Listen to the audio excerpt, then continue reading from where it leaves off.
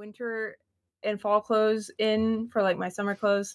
So that's the lovely mess you see in the back. So Okay. don't mind it too much. I'm not gonna judge, girly. I'm not gonna judge. I am a clutter fiend myself. This only looks nice because this is my like office and nothing lives here. Mhm. so no problemo. Um, I'm gonna pull up my YouTube chat, which I don't normally try to pay attention to too much because it distracts me. But I Mhm. just want them to tell me if the volume is off or anything. I can't tell. So you guys, I'll be looking at the chat for you guys to warn me if my volume is off or if you can't hear Merc because I would hate for that to happen. So please let us know if you can't see anything. They say you look cute. Thanks. there, there's that. All right. So I'm gonna uh, call you Merc through the conversation. Yes. Yeah, sure. Okay. Or perfect. uh, you can call me RJ too. It RJ? doesn't really matter. Okay, yeah. Yeah. And I'm Brittany, so makes it Nice pretty to meet you. Nice to meet you. Um, I appreciated you DMing me. That was nice. Yeah, I mean, I watched, and I mean, I don't want to sound like biased, but obviously, like everyone wants to feel like their side is, you know, fact and true. Yeah. And I, f- I felt like the erudite conversation was, it wasn't that I was at all trying to be hostile. I literally, I was, I was so confused. Like it Yeah. just automatically felt like the energy had switched, and a lot of her fans were like in my chat saying all these terrible things about me. Mm, a lot of my viewers were trolling me but I, and when i get really like riled up i don't know if they're trolling or not Yeah. and like i get so like over fixated on did i do something wrong? And so like to see you kind of like be honest and be unbiased and like like we both did some like things wrong there's both things we could have done differently but it really really really was very validating for me and very important for me when you said like when i walked away like you said that was an amazing boundary and i think like that even though outside validation doesn't matter it feels good to know that people on the outside can see the things i'm learning in my real life and trying to like utilize it as far as like dreaming and like yeah. becoming bigger in the space i guess you could say so that i, I appreciate you being honest and it did actually help with a lot I'm so glad. Well, I actually uh, just to clarify some things too. So, do you have borderline? I do. I, Okay. I have borderline personality. It took me, I don't know. So growing up, I was diagnosed with like bipolar and depressive disorder and anxiety and all these things. And like, it took me, I think I got diagnosed, was it two years ago, last year, something like that? Congratulations.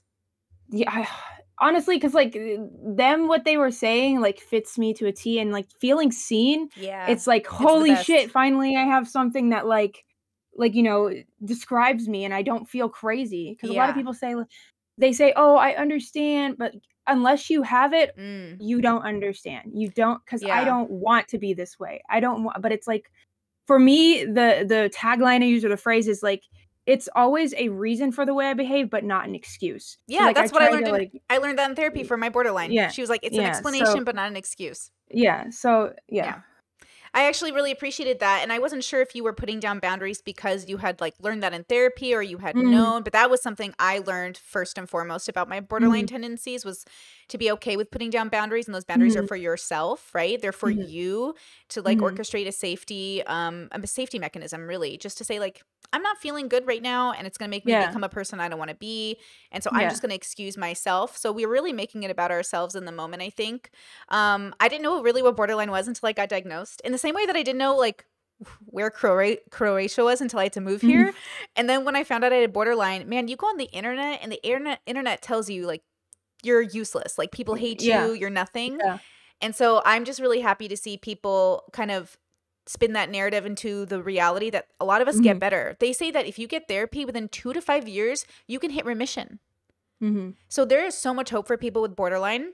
But I thought I saw that displayed in your conversation with Kyla, where I felt like, okay, she's putting down boundaries, she's saying what she Mhm. needs, she's exiting the situation. Um, and I really liked that. Now I'm curious, now that you've gone through that and you've had, you know, a few Mhm. days to chill on the subject, are you and Kyla okay? Uh, you see, I, being that I am so new to the space, I am slowly but surely learning how it all works, Mm, and I'm trying to balance that with like business, like mindset with Yeah. my like personal wants. yeah. So as of like, I have no personal problems with her whatsoever. I leave everything on the internet. Like, if I saw her IRL, I would not have a problem with her at all. Right. But also, I don't want things to get out of hand on the internet.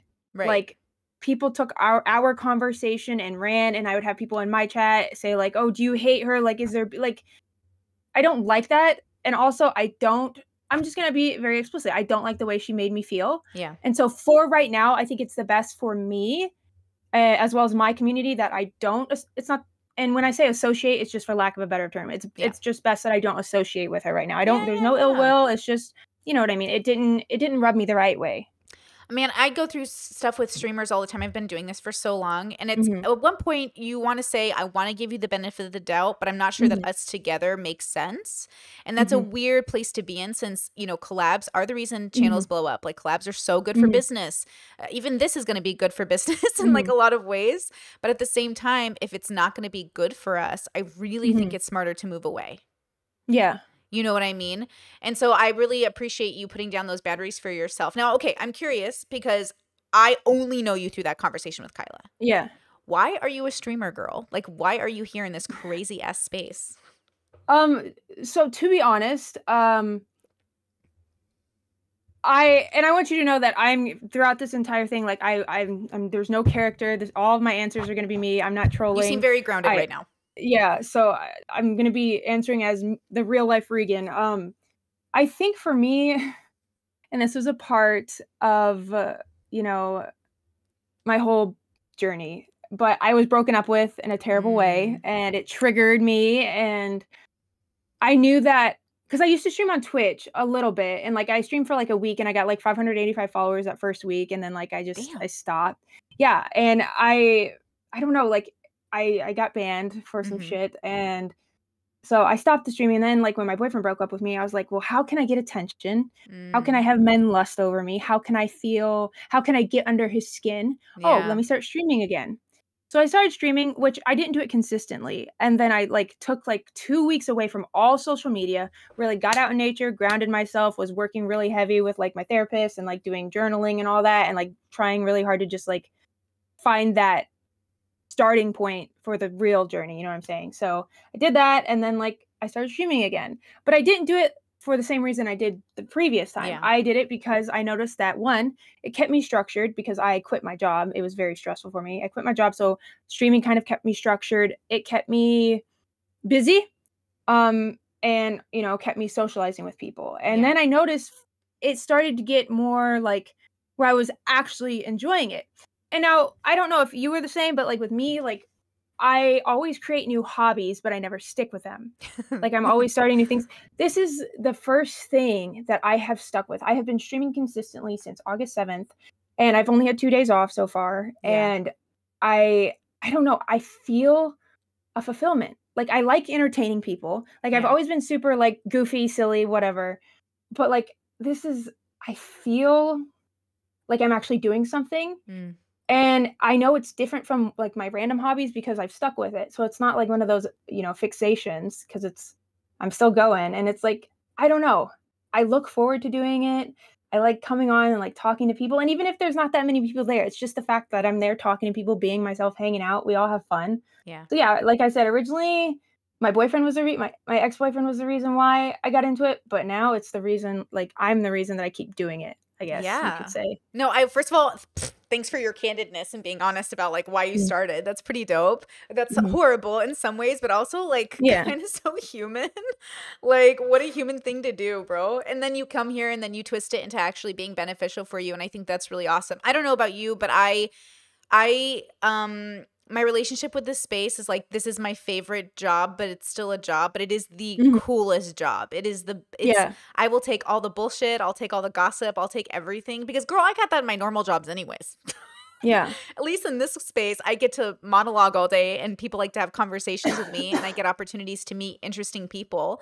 And so there's something to be said about like the freedom of this job while still being Mhm. constrained. And I know you're, you know, you've only been here for a short time, but I think people consider you kind of controversial. And I wanted to know, like, why did you become so controversial so quickly?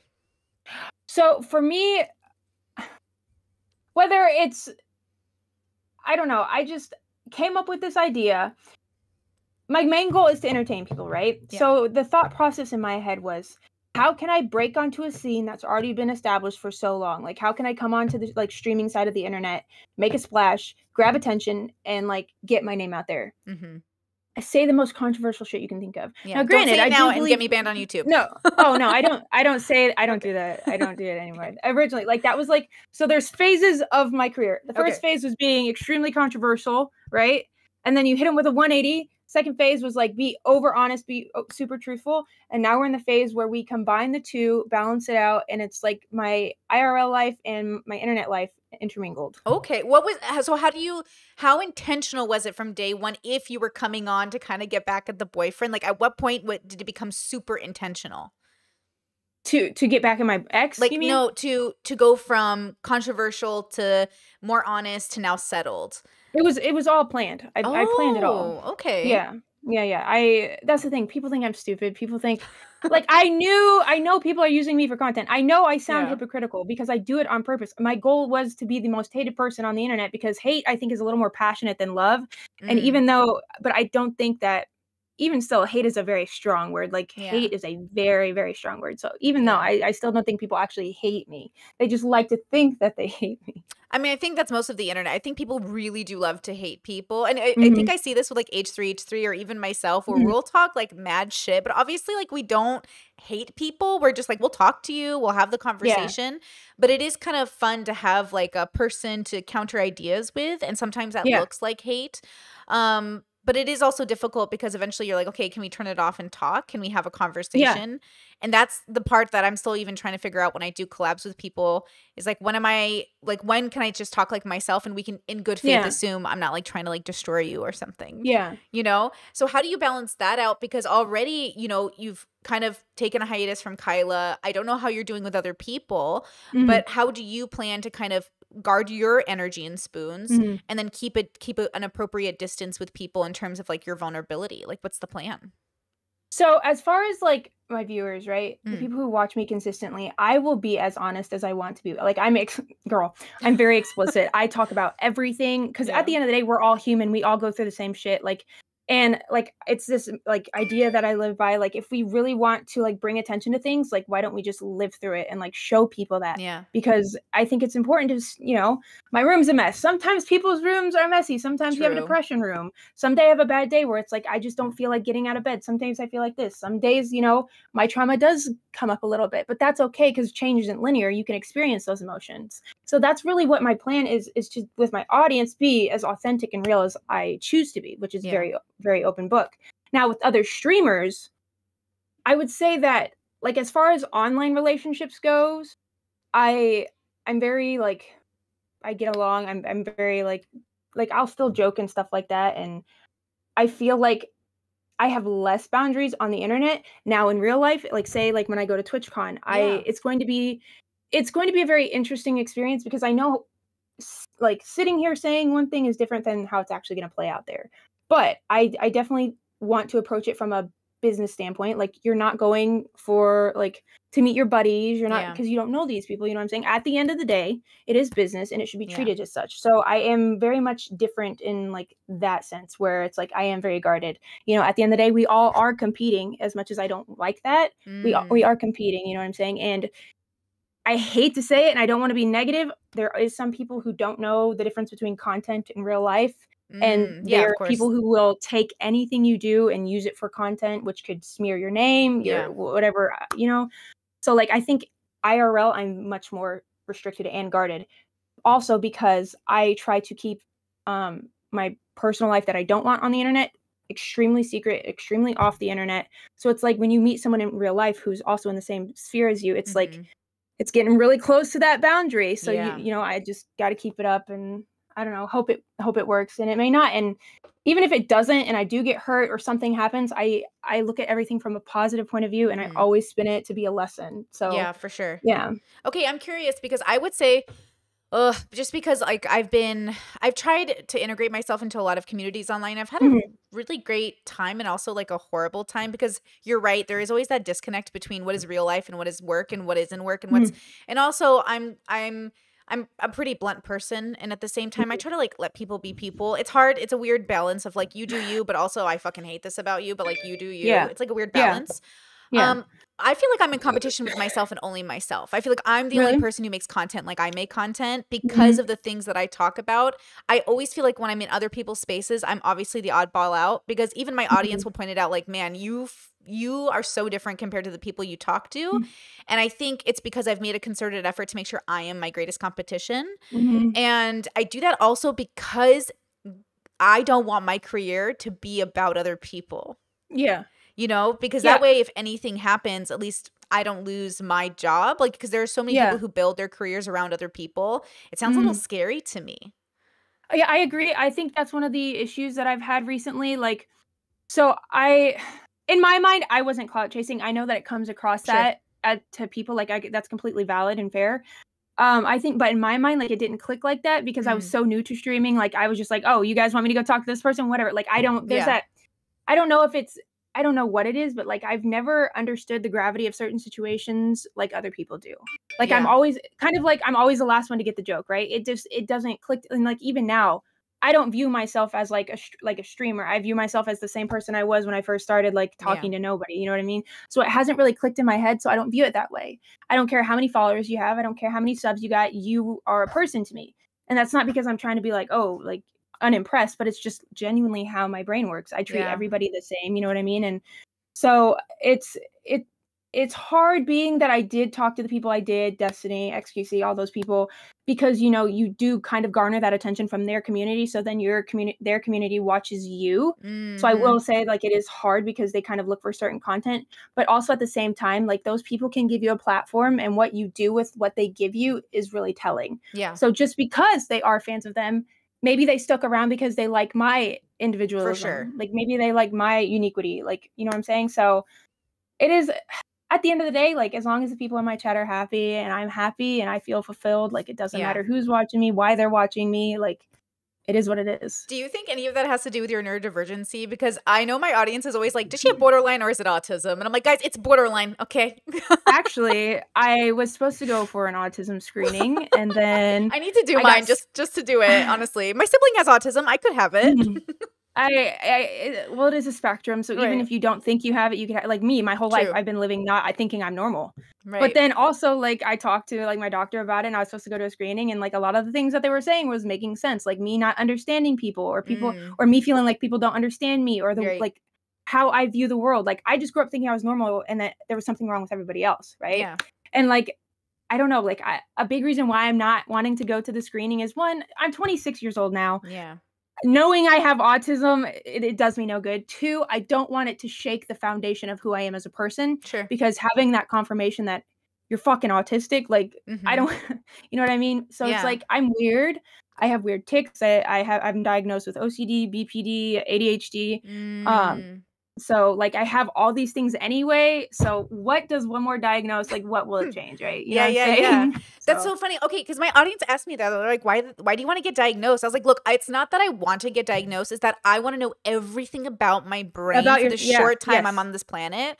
So I just want to Mhm. know everything, and I want to. I already know BPD is considered neurodivergency. Like I know I'm black and white thinking. I know I think differently, but also I think there's something that's common amongst neurodivergence in general, which is the ones who are, I think, introspective. Is there is a sense of um like just uh, like a desire for justice but also a desire to know like what is true and it's i'm generalizing here totally but it is one of those things where i see it in people where i'm like but you're the one lying so tell the truth Mhm. like i don't get it and the thing is like in Yeah. business you're supposed to lie like when i'm with Mhm. people and doing like businessy stuff it is like clear to me that everyone is supposed to lie and it drives me nuts because i'm like i Mhm. don't feel comfortable with this one i'm not going to remember my lie I'm not gonna remember.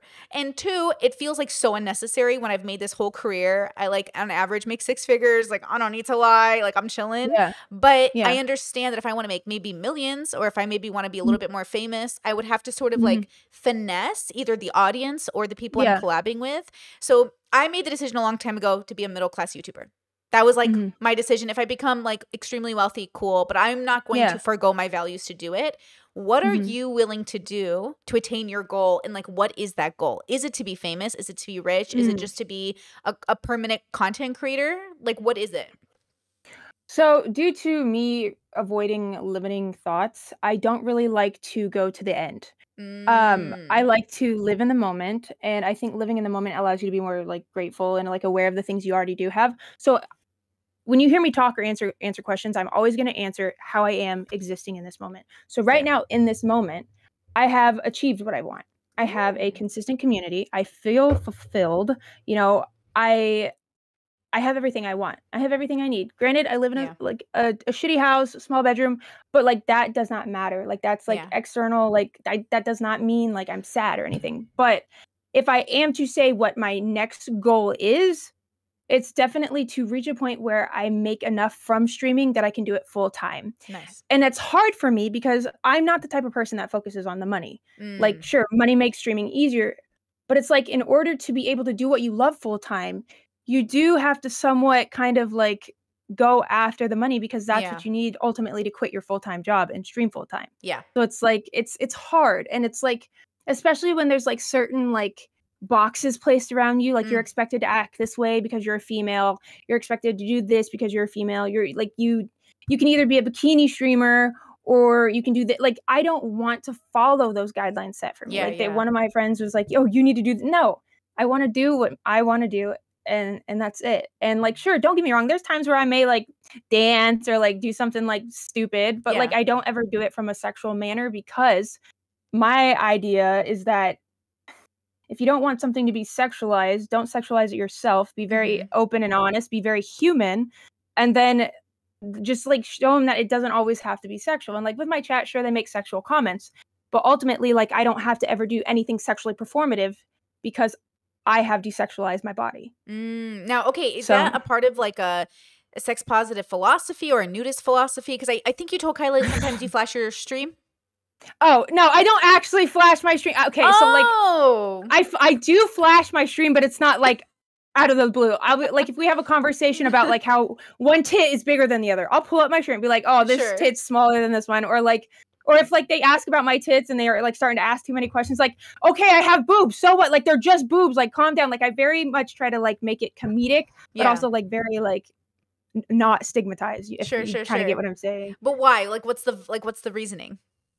Um, because I just I've always been very disconnected from sex like that, and uh, yes, I think it is very sex positive because like once you are more comfortable with yourself and realize that they are just body parts, like you you become Yeah. less insecure and then being less insecure makes you more like maybe like if you are with your partner like you're more willing to try things you're more comfortable with yourself you uh, you embrace your sexuality because you're not scared of it Yeah. Yeah. No, okay. I'll tell you something. It's because I've been on YouTube so long, but only the last like Mhm. three, four years has it been a full time job. I've always worked multiple jobs and done this full time. Okay. Let me tell you, back in the day before YouTube changed their policies, I used to Mhm. like flash the camera or like Mhm. randomly in a video, I'd be talking about like, because I used to be like a hardcore political feminist and I'd be like, Yeah. this is how I feel. And I'd be like, wow. And then yeah I yeah. felt so free making those videos, and then YouTube changed their policies and they like privated my videos and stuff.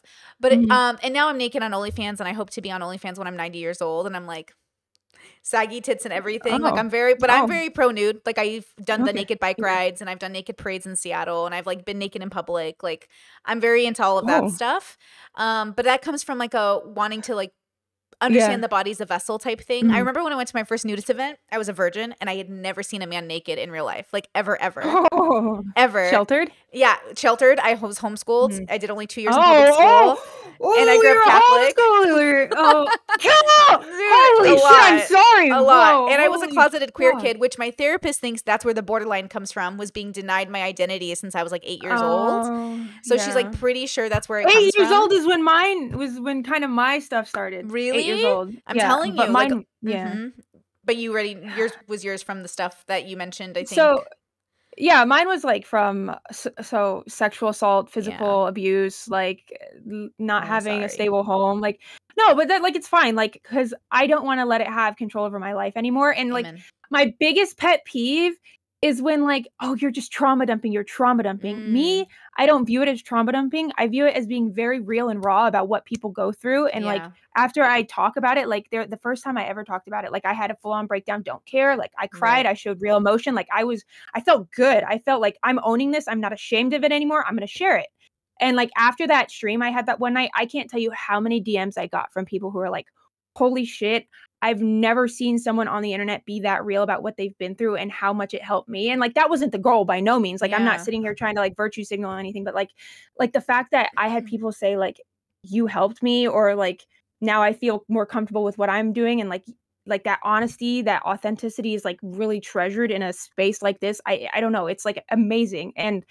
in a way it does kind of um I guess continue like make me want to keep being vulnerable. Yeah. But like I always know that like if it's something I don't feel safe sharing or don't feel comfortable, I won't. Yeah. Like I'm not Yeah. gonna share something just for that like that commodity, which is those feelings. You know what I'm saying? So I think Okay. yeah. So that's interesting because I think one of the things I've always struggled with was I don't want to sensationalize my life because I think Mhm. that makes people see you as more of a freak than you even are. And as much as I'd like Mhm. to like recontextualize my weirdness into like, yeah, I'm a freak, who cares? The reality is like I don't feel like much of one. I feel like pretty normal, but we've all gone through things. And so I've been really raw and vulnerable myself. And I think I really get invigorated when people are like, Brittany, like this helped me see myself and like make peace with my family and understand my family and myself. Um, and I think that that came from a decision to actually like be kinder to myself and give No, myself a space to be kinder to other people because like we all go through shit and it's a, it's Mhm. easier for the people who can say it out loud i think to sometimes get over their shit versus people who Mhm. are in denial that they're hurt Yeah. and i think that that has been at least my story like when i've denied myself agency to say yeah actually that does hurt me it just fucks Mhm. me over more than just saying i'm I- hurt I, I definitely I definitely like I I literally concur with what you're saying because like the like so um d- you know like sha- like inner child like shadow Yeah. shadow work and stuff yeah like yeah that? yeah. So i've got the, i've got this thing right? So a big part of it is acknowledging the part of you that you've been forced to kind of like shove down right? Whether it's like your animalistic instincts or like certain behaviors intrusive thoughts that aren't necessarily like dangerous yeah. um stuff like that. Like and when you first start it's kind of like you're taking a walk down a long hall. You know the darkness is coming you're getting closer you know it's getting harder it feels like the door keeps getting further and further away but when you like are there like it really open you open that door and it's like really there in your Yeah. face and i think that that is the like the moment that you decide whether or not you want to stay the same or change your life forever. And it's hard it's hard to come to terms with who that is Yeah. but it is necessary. I think the pain is like a catharsis of all the trauma that you've been through throughout your entire life and it's really what you need to go through in order to make that change. It's like like rising action and like, you know, Yeah. you reach the point, the peak and then it's like the denouement all the way down. Like you're and it's finally like you're healed you're you're not healed completely because change isn't linear but like Right. you're at this point where it's like you're aware of the problems you know what you need to do to fix them and you're actually consistently working on them so it's like a free fall down because it's it's easy once you stop fighting it it's like you're just being carried along the river and a lot of people Mm. think like like I, I when i watch other people like uh dissect like my my collabs or like talk about the things i've talked about they always are like oh she blames everything on like spirituality Mm. and that's i think they are misinterpreting what i'm saying i am very spiritual but i also do believe in psychiatric medicine and i believe that spirituality led me down to the path i'm on and like it's allowed me to get help it's allowed me to stay consistent with my healing i think it's a part of my journey and streaming is definitely a part of that because i get like i said i get to practice the things i've learned i it's made me more confident because self-confidence and like beauty was a big thing i struggle with granted i look made up now but like you should see how i pull up to stream sometimes. I i'll roll out of bed and get on the computer. Like i don't care. That that's so- streamer mode right there girl. You are Yeah. a streamer. I'm so i'm so confident in myself. I feel beautiful and like Yeah. granted like outside validation doesn't matter but it does feel good when you see like people call you attractive even though like you used to like look in the mirror and want to vomit. Like it feels Yeah. good to know like holy shit finally like and then when people compliment me i don't like act weird now i mean i still act weird because i'm shy but like like i i say you know thank you for that compliment it's okay to accept compliments it's okay to compliment each other like yeah I don't know. I'm just in this like bubble right now of like everything is just coming together. I'm working on myself. I feel beautiful. I feel good. I feel strong. And even when there are bad days or there are like setbacks or like, you know, um relapses or whatever you may Yeah. call them, yeah I get through them. I handle them and I handle it healthily and I don't immediately run to the other end, which is like, oh my God, I want to, you know, end my life or anything like that. totally I know how to handle it. I know how to cope. And I don't know. Like I was talking to my chat while ago, I haven't had a panic attack in I would say almost two months. congratulations And I haven't I haven't had like a suicidal thought or ideation or anything, anything in like two months. So that's awesome that's feeling awesome good. It good. really starts somewhere honestly because um God, since I was like eight years old, you know, you're in the Mhm. throes of this just whirlwind of emotions. And I've had unaliving thoughts since I was a kid. Mhm. And I struggled with it till about 30. Like I was 30 years old Yeah. when they stopped. And How, sorry for interrupt. Mhm. How old are you now? I'm 34. Oh, gotcha. Okay. Yeah. So I'm four years um, clean Mhm. of suicidal ideations and borderline splitting. And um, the one thing I'm still working on is my PTSD, which Mhm. is interesting. So I got triggered twice in the last 12 or 16 months. And so I'm Mhm. like, damn, like every time I think I'm further along, but like you said, it's not linear. And so it's Mhm. like, okay, here we go again, like learning Mhm. this thing about myself. I said yesterday on my stream, you know, I don't know anything that the world doesn't know. I just am able to somehow implement them because it's a need. If I don't implement this change in my life, like I'm gonna die. Like, Yeah. You know what Yeah. I mean? I'm not going to have a healthy existence and exi- you know, relationship with existing. And Mhm. it, so for me, it's like a need. I have to change. So I, I want to Yeah. pose the question to you because a lot of people always ask me this because I created like this very subjective idea of like introspection and like I made a Mhm. scale for it. And people always say like, do you think people have to be, you know, have to like hit the goal of the spectrum? And I'm like, well, there is no goal to the spectrum. Mhm. The goal is like what you have. Do you think people have to get better or do you think people are allowed their right to not get better? Okay. Here's here's my thing. Everyone is free to make their own decisions regarding their health or whatever, right? The issue arises when they get so past the point where it's like they aren't even lucid enough to make a decision. But like who gets to decide that, Mm. right? So it's like the way I believe, yes, people have a right not to change, but they need to deal with the consequences, which are which are people thinking that they're an asshole, right? Like Yeah, you yeah. can be fine, you can be a jerk, you can do this, but people aren't gonna like you. And if you allow yourself to be like that and not get help, the problem can grow, which Yeah. could lead to harming others, which Right. that's when it becomes an issue. If others people's safety are involved, then yes, you you someone needs to make that decision for you. Or you can be you could go through assisted suicide, which is something I truly Mm. believe in, Yeah. and take yourself out of the world before you hurt others.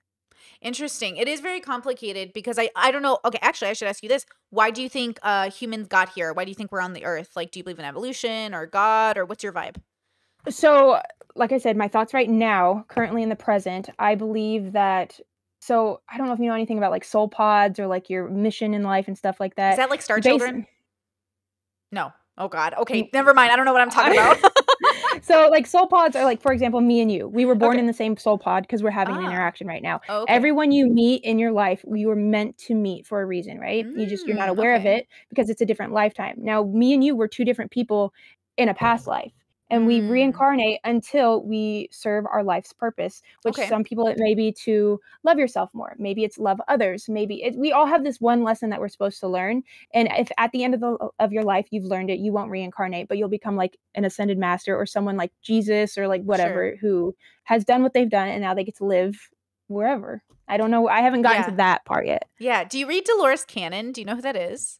I do know who that is. That's that elderly lady. Yeah, yeah, Um, yeah. but i i've only seen like a little bit of her I know one of her books because I have a um somebody in my life who recommended um because they're in like that bubble of like uh, Mhm. reincarnation bubble, and they told me about her book Five Lives Remembered, and it's the only book on New Age spirituality I've read, Mhm. and I've read like thousands of books, but I haven't really hopped into that world. Mhm. And one of the things she says is that like there's this um pyramid, I guess, of lives, and every time you come Mhm. back, you experience a new thing. And so Mhm. I I'm not gonna lie, sometimes I'm like, you're coming back as grass next time, bro. I feel Yeah. it. Like you haven't learned the lesson, you know. But Well- it is interesting that idea of having to learn a lesson.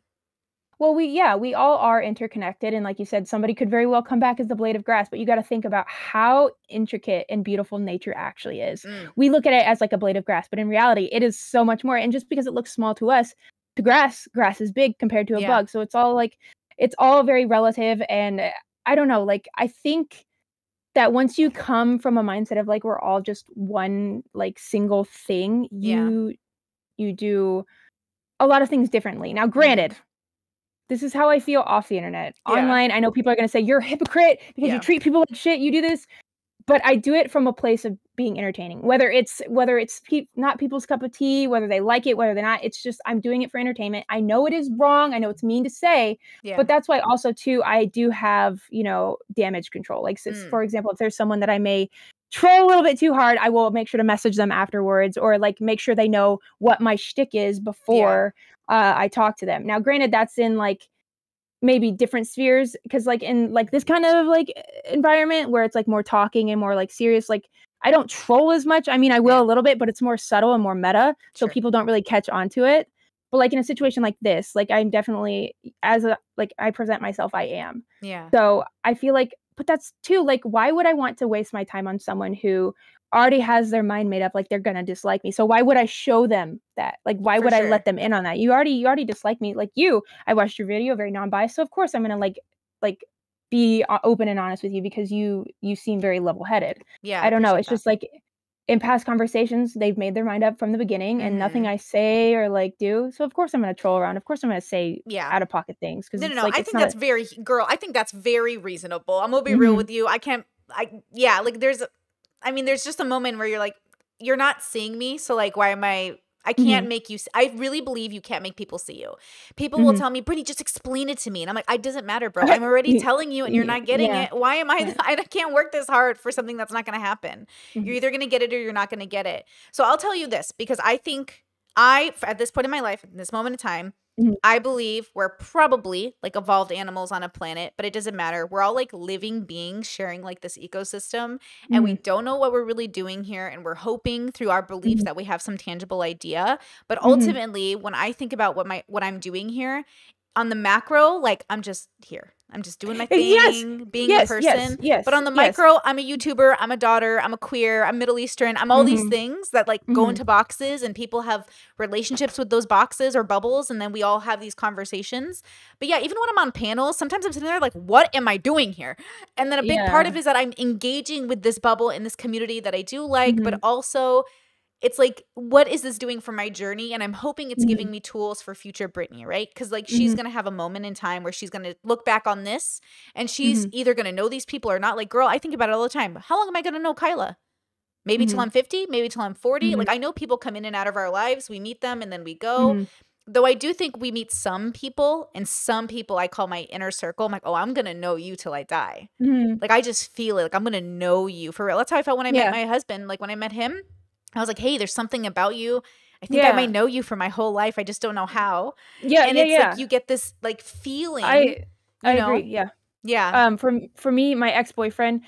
So again, we're back into the like. uh, I don't know if you know anything about like twin flames and Yeah. soulmates and stuff like Yeah, yeah, karmic. yeah. So, so the way I feel it, my ex, there was two options. Either he was my twin flame, which was to like destroy me and then build me back up, like teach me who I am because they mirror your the, your Right. behavior. And then there's a karmic cycle is something that you're meant to go through to kind of like get rid of past like negative karma that you've done to other people and it kind of teaches you lessons as well. So it's I'm deciding between the two. So that's how I Mm. felt about him. Like he like I felt like instantaneous. But then again, I did attribute some of my BPD to it. I didn't want to just be like, "Oh, Mm. it's because he's my twin flame." No, Yeah. that's not you got to make sure that your mental is good Yeah. and level before you can even think about anything in the spiritual realm because you don't know if your mental is playing on that, right? True. And so now, so don't get me wrong, I still get like these thoughts. Like, for example, I do follow spirit numbers. They have guided me this long and I've been doing great. So I'm not going to stop.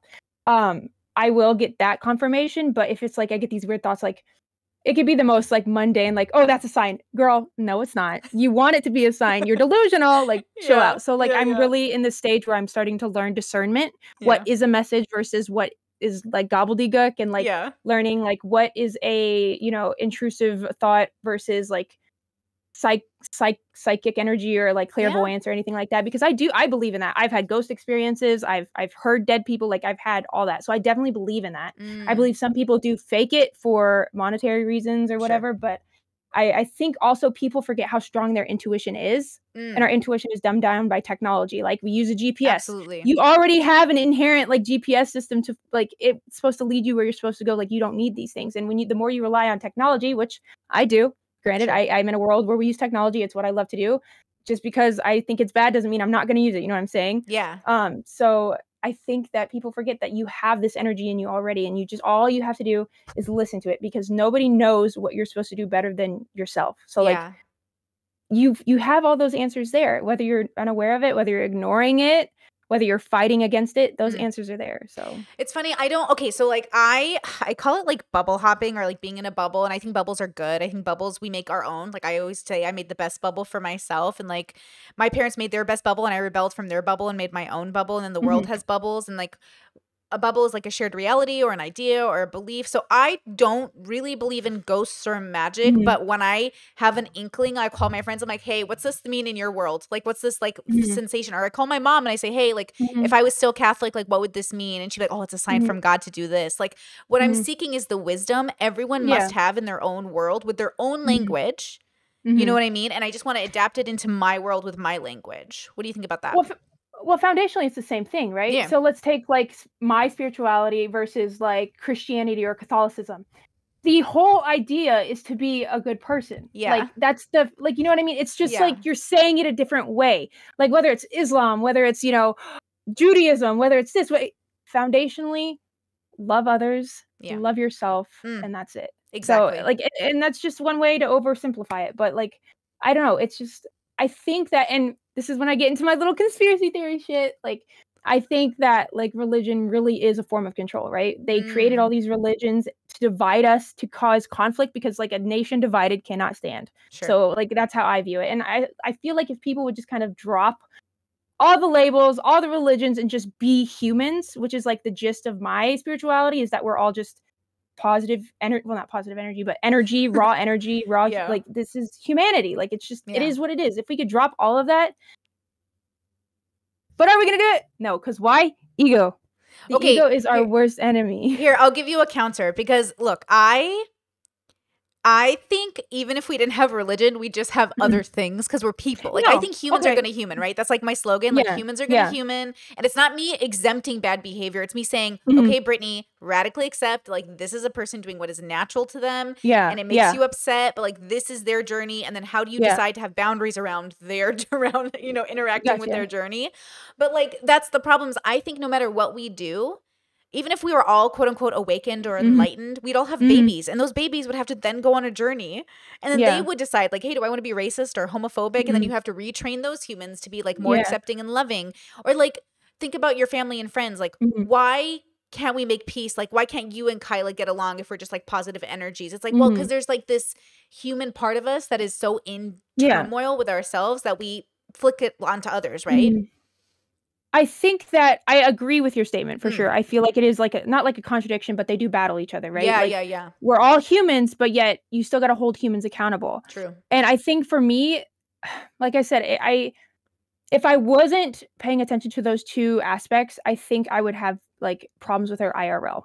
I do recognize that she's a human, but also I do have boundaries. So I'm like Mm. appreciating the two by removing myself from her online presence Yeah. but leaving that door open for real life. And who knows, maybe later on down the road, we do have a positive human interaction off the internet, which makes it easier to kind of like move on from whatever we have on the internet. Because to be honest, it's not even a bad thing. It's just that I don't I don't feel happy with how it ended. And just like I'm sure she wasn't happy, you know what I mean? Like Yeah. she was very emotionally upset about it. So like we both we both are affected by it. It's fair to say that. Like and people who say you can't show emotion, fuck you. Like you're wrong Totally. um so like i said it's i appreciate both of those sides and for me like i really i really do try to be in the center but sometimes it's like i'd rather be on both sides and have them contradict each other than be center Yeah, yeah, yeah. Well, i you know, I always say like, um, like five on my level system is like the Mhm. the, the part where you're like balanced with the micro and the macro, Mhm. and then a two is where you're mostly in the micro or like totally in the micro. And I always say Mhm. like, I'm having a two moment, and listen to me right now. I'm in the Yeah. moment. I can't think of myself as an energy in the universe. Mhm. I'm upset, and I want to be upset Yeah, so I can like move yeah. through my feelings about it because I am Well, a of- human. and I'm not perfect, you know. well yeah i think that's definitely a part of being like we said humans are going to human that human energy is is manifesting through emotion and so Yeah. it's like it doesn't it doesn't even have to be a bad thing i mean I, I don't know like everything happens for a reason and i know people hate that and i just i feel like i don't know i Yeah. just i'm in this like flow state where it's like everything makes sense to me and i just i don't know i try i i really do really do try to understand people and it's just hard because sometimes i don't understand people and then Yeah. i just i get frustrated because people don't understand me Mm. and like when i get like really aggravated or like really animated or like yell like yelling like i'm not yelling because like i'm like aggressive i'm yelling because like i'm so confused you know what i'm saying and that was like a big part like on on that stream it was like you well, you don't have to yell it's not that i'm yelling it's like i'm trying to just talk to you and it's like everything's like building up and i have all these thoughts and it's like i'm confused and once that like foundation is like shaky it's like am I crazy? I start doubting myself. I start Yeah. looking for external doubt. It's like it's just like you're thrown into this turmoil. And I've never I don't like feeling that way because then it kind of reminds me it's like, well, now am I relapsing? Is all that all that progress eh, like am I am I fucking up? And it's like it's just so many things. Like and all these negative emotions and thoughts come running through and it's like you're doubting yourself. Mm. So I don't know. That's that's really all it was. Like I don't want people to think I'm hostile at all. Yeah. Granted, my behavior some of the time does come across as hostile, but that's like a part of the bit. That's like the character Right. or whatever. But it's like when I'm talking like this, I'm I have I I'm, I'm just like you know Animated. passionate. Yeah, I'm Yeah. passionate. So like I don't Yeah. ever want to come across as hostile. And like that, I think if we're not like hiding it or like masking like her title, like she gets murked and like h- hostile out of nowhere. Like that's what made me kind of like.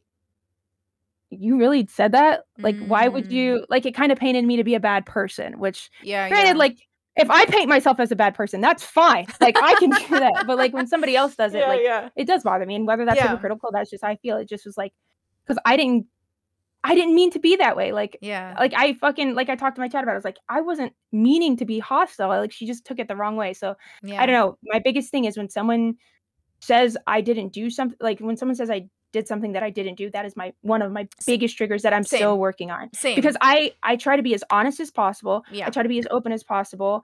And it's like when I am actually when I know I'm a good person and someone that thinks that I'm not like that, that really bothers me. Sure. And I don't know. Yeah. Okay. Well, first, I want to say I think like life is tiny contradictions.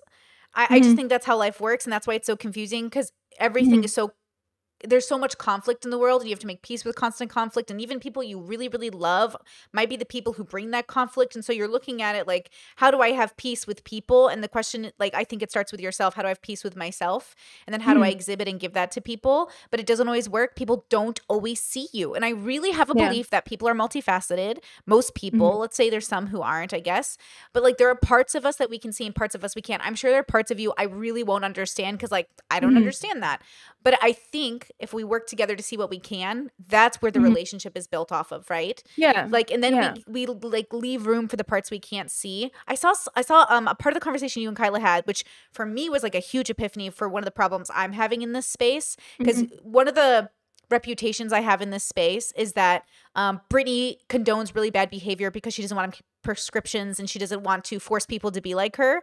And then the Mm-hmm. irony is that when I am judgy for the few moments I am, everyone's like, Brittany's so judgy. And I'm, I'm going to fucking kill everybody. What are you guys talking Yeah. about? Do you want me to be judgy or do you want me to be less judgy? So I'm just going to do what I'm going to do. But Kyla said something like, um, uh, a debate is there to change your mind. Now, I think I, I- think a debate probably is, and a discussion is more like what we're doing, which is like I'm not here to Mhm. change you, girl, but let's talk about Mhm. it. But okay, minus the definitions, that fucking blew my mind. Where I was like, see, you guys are trying to change people, and I'm saying no. But then Kyla said, this is what blew my mind. She said, just because you change the way you think of ideas doesn't mean I'm asking you to change who you are. And I'm like, um, I just I pers I personally disagree because like okay, so if we use the debate the, the definition, all right, you, like your your definition Yeah. or whatever you just said, um, and you apply it to like a debate, an actual debate, right? Like at the UN, yeah, let's say we're at the UN, they're having a debate. They debate over things that they're going to change, mm-hmm. right? Like right, where they're gonna like, oh, if we have to allocate this amount of money to this, or we have to allocate Right. this amount of like the whole goal is to change someone's mind, right? yes, So when she says like you can like try and get people to change, but like not like however you worded it, like I totally agree. Like that's not true. Like that's Yeah. not true, right? yeah. Like that's not that's not true, right? Yeah, like no, that's what my whole life. Trust me, as a person who's like very different from the way I was raised, my parents hope I change my mind to be more Yeah. like them. Everyone wants Yeah. you to change your mind to be more like them so they're comfortable, and I think Mhm. that's fair. But I also decline. Yo, exactly. And that's my thing. So it's never that I didn't want to change, right? Okay, so and I people don't listen to me when I have conversations. I always say this. I was like, just because I'm not changing right now does not mean I'm going to not change Right. down the road. I want to Right. change organically. Mm, I believe that this is my journey to go through, so I will change when I am meant to change. And if right. you don't watch me consistently, but for the people who watch me consistently, who have been here from the beginning, they see a massive difference in my behavior already. And Yes. also, I'm starting to learn more on the business end, and that's how I wanted it to happen. I people, I'm, I like tried to stress to them like you're wasting your time Yeah. because it's going to happen organically. That's a part of if you're living, if you're alive, if your heart is beating, you are living and growing and changing every single day. yeah. So for for you guys to think that I'm sitting here saying, "Oh, I'm never going to change," humans change. You're going to change. Like it's it's just Yeah. a part of it. So I think, and, and it's not even like changing. It's like uh, you're doing a metamorphosis. Like you yeah, start off one absolutely. thing, and it's like, and it, and it takes time. But allow people that time. Allow people to learn their lessons when they're meant to learn their lessons, not because you want them to learn that lesson right now. Because I guarantee you, ten times out of ten, they're not going to take your advice because Mm. they most of the time people come at it from a place of you need to change instead of I think it would be healthy if you looked at this and considered whether or not it's worthy of change yes. or like hey let me just understand you so i can be there with you along the journey yeah. and granted there are times where it's like i'm not going to be a part of your journey until you change because it is unhealthy for both parties but you know at least be honest and communicative about that like say Yeah. like look i love you as a human and i did this with another girl streamer that i used to talk to it's like i'm on my own journey so i can't help you through yours but Right. this is how i feel because i'm going through it myself and Yeah. like i said unless you go through it you will never fully understand and i understand because i'm going through it but it's like my healing my comfort is important. This mm-hmm. is my community. This is my part of the internet. So it's like i don't have to subscribe to what people want me to do want me to listen to change whatever because it's my journey and i'm doing what i feel inside is right You know, um, I just went through because I have like a thousand privated videos because I've been on the internet for like 12 years. And I just went through some of them with my audience, and some of my newer audience is like, What? And I'm like, Oh, this was Brittany here at this stage, and here she is in this Mhm. moment, and here she is Yeah. in this. And the change is so clear. I definitely aged younger. I look so much better now than I did when I was younger.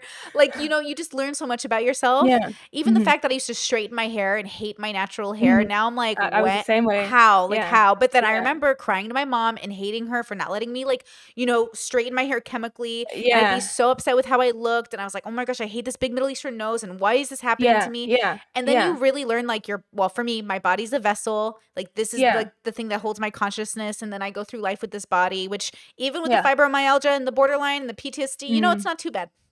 yeah yeah well that's the thing not. like a big uh, part of my philosophy is like taking negative things and transmute it into positive energy like Mm, you know there's certain things that i've been through that it, like you, it's really easy to get into a negative mindset trust me i know yeah. like I- whenever i say like just be positive i want people to know that i were i was that way once like literally could not wake up could not get out of bed literally crying waking up wanting to fucking kill myself not starving my like doing all these things trust me i know how it feels but when you and i know this is cliche to say but when you think positively you will see those positive changes Mm. like you put a positive spin on anything that's why people are like oh aren't you scared of losing your job? Aren't you scared of getting fired? No because that's a positive thing. How is that positive? I can stream full time if i get fired Mm, yeah, yeah, yeah. can stream full- like it's and it's meant to happen. I truly put my faith in the universe leading me down this path and it's been working out. I, the analytics are there the good feelings are there so Yeah. i don't feel manic because this has been a long like experience and not just like short you know what i'm saying? So it's Mhm. like i'm doing it right i feel like it's right and that's all that matters so Yeah. Do you experience a literal mania? uh, i don't know what that is Okay, just checking because mania is often associated with bipolar, but I thought Mhm. when I was first diagnosed with borderline that also borderlines got mania, but apparently that's actually not very common. So when you said I don't feel manic, I wasn't sure if you meant literally mania or not. I'm just making sure. Well, no just like the like i don't want it to be like i'm crazy because like i still sometimes myself say like i said i doubt myself sometimes so i'm like am i manic? Am i crazy? Because you see all these con these comments and like even though people can say like oh it doesn't bother me humanly it does bother us right? Yeah. what we choose to like aff- how how much we let it affect us is our choice right? So like yes sometimes it does affect me when it, it doesn't so much anymore because it's stopped but back when like I, I was really new to this and like everyone's like you're manic you're schizo you're this you're that like it's like am i? Like is there something wrong with me? Which granted yes there's something wrong with me. I have bp like but like i'm not i hate when people like say oh you're acting like this because you're bpd no i'm being a normal fucking human. I'm Right. being who my personality is. It's not because i'm Yes. bpd me like all of a sudden like shifting on you like because you trigger me like screaming at you yelling at throwing shit like and then like immediately apologizing oh i'm so sorry like for like that would be like an aspect of my bpd Sure. and trust me i used to be like that so it's like it's not fair when people contribute everything to like mental illness because that's not oh, true it sucks. Like no matter what you do, and that's why I do think some people don't get diagnosed with things and share it because they they will explode. Like the men on this space will explode, will yell, will be emotional, will get Mhm. triggered. But for them, they're not like criticized at any length to the extent that women Mhm. are when we do it. And especially since we're Mhm. out with our mental illnesses, Mhm. it's always like your mental illness. I'm like, am I never allowed to be upset or feel injustice Yeah. over something Yeah. that is upsetting?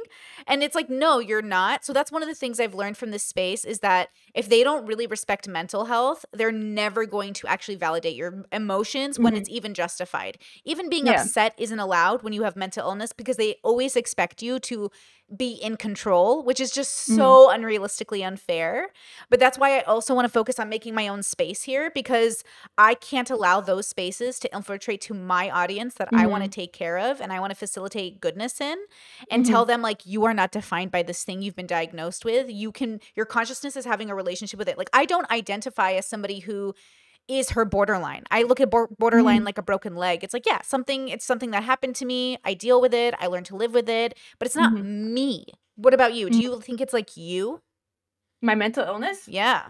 I think okay, so the way I i- visualize it, I think like so say from the moment you're diagnosed with BPD, like you have this darkness in your head, right? It's like Yeah. dark. Dark, it's it's who you are, it's like everything it encompasses your entire life. But as you start to ch- like change and get help and you know do healthy things, the the dark ball gets smaller and smaller and smaller to where it allow it's kind of like, you know, curtains. It allows your real self to kind of like take main stage and yes while it's still there you can choose whether or not to listen to it and when it like does Mhm. need extra attention you can give it attention in a healthy way like like a lot of inner child talk like i am aware that you are upset right now i understand why you're upset right now but you do not have to be upset because you're not alone or if you want to be upset that is okay but make sure you're expressing it in a positive way not like breaking shit like cutting yourself like stuff Yeah. like that like yeah. so it's it's it's what you do with it and like how you deal with it that really really matters. So while I am my illness, I think my illness is more my illness is more me now, like because I have control. Because like Mm. I I tell it wh- when to come up. Yeah, I tell yeah, it when, yeah. you know what I'm saying. Like I have control over myself. yeah. Back then I used to not. So yeah, I would say that now I am a different person. And honestly, if you kind of kill that per- that side of you, it makes mental healing a lot easier because it's like Mm. almost like it's ceremonial. You can have that funeral. You can say goodbye to the person you once were and like start fresh and start anew. So that's Yep. how I view it. Yep. I will say I'm a big checklist person, so I if I feel myself feeling like a heightened sense of emotion or Mhm. like sometimes I'm overstimulated, I'll do my checklist to be like, okay, is this the borderline, neurodivergency in general, PTSD, or just normal people feelings? like, Mhm. It's like you're asking, you're you're having a relationship with yourself and trying to figure out, okay, like what am I Yeah, really experiencing? Yeah, and it, you know what's so funny is that that skill is really difficult, like you said earlier, because not only are other people telling you what it is, Mhm. and they're wrong probably, but you might even lie to yourself about what it is. Like, girl, Yeah. I watched my old privated videos about my I have a video that's privated now. It's called like having depression and anxiety. And I was Mhm. listening to it, and this is undiagnosed Brittany. She doesn't know she has borderline. Mm-hmm. Yeah. as she's talking, she's naming every symptom of borderline, and she thinks it's depression and anxiety. And I'm like, you dumb Uh, bitch. you- And I'm like, yeah, "Oh yeah, that's the thing. Yeah, it's kind of like this aha moment when you're like they're listing all these things off. It's like that's me. Hold on, that's another one. That's me. There's more. Yes. Oh shit, me. So, it, but it's like I don't know if it's with all like mental illnesses, but like for BPD, like I feel like it's like one of the most like rom- romanticized. It's one of the most Mm. like I think I don't know. It's BPD is like oh I want a cute crazy BPD girl. It is Yeah. not fun. No. It is not fun. It is not romantic. No. I, I, it's, it's like, I, and this is just me personally. I know schizophrenia is extremely difficult. I, but yeah, like, yeah. my life is my. I think BPD is one of the hardest things I've ever had to deal with. Like Yeah. anything. Like it's like it's so difficult. Like you're sitting there. It's almost like you take a back seat in your head. Like you see yourself doing this. You see yourself. You know it's wrong, but it's like you you can't do anything about it. Yeah. No matter how much you say, okay, remove the trigger, or it's you just can't. Mm. You just can't. Once I'm and in it's it, so scary. excuse me i will say once i'm in it i i Mhm. now look at myself when i'm like and it's been years since I've been like splitting or anything, but when I Mhm. was I when I was doing therapy and getting out of it, I will say like I feel like I recovered pretty heavily because I was reading a lot about philosophy and spirituality Mhm. as well in conjunction with therapy, but I almost could see before I thought it was me. I thought it was me Mhm. down to my core like this is who you are forever. Yeah. And then Yeah. once I got the therapy, it was like I was looking at myself going through it and I was like, girl, what are you doing? And I couldn't pull Mhm. myself out. So once Yeah. I find myself in it, it's not like I have the skill set to pull myself out. I just have the skill set not to hurt people. I have the skill set not Yeah. to self harm because I was Yeah. a self harmer and I have a skill I set to like not attempt, right? Because I would try Yeah, to attempt in different ways. I would, I mean, do all kinds of things. So at this point in my life, since I haven't had that problem, but even with my PTSD, when it happens, same thing. It's like I almost like move out of my body and I watch myself. And I'm like, oh man, okay, we're still working on this, but at least we Mhm. know what's happening now. Now we have an answer for this thing that I thought was just who I was. Mhm. Would you would you uh, something about that that you said was like, you know, attempts and all that. Like would you for me, the way I've worked it out is so when I would have my suicide attempts, I thought I wanted to die, right? Mm, I thought I mhm, wanted to die. I didn't Mhm. actually want to die. And if I actually wanted to die, I would have succeeded, right? Mm. So my thought is people who attempt suicide don't actually want to die because if they actually wanted to die, they would die, right? Like Mm. someone who actually wants to die, they would they would Yeah, pull yeah. tr- they don't care how they like you your goal is to kill yourself. You, Yeah. You're going to do it, right? So is that like an outlandish thought because I want to I I it's something that I have been pondering today because we talked about it earlier in my Yeah. chat and it's like am I wrong in thinking that? Mm. Like, because some people are like, oh, if they say it, they mean it. Like, don't, that's rude to say. Like, that's mean. Uh, no, that's what I truly believe. If you really wanted to kill yourself, you would have killed yourself. Okay, so in my work, Mm-hmm. I distinguish suicide and chosen death as two different things.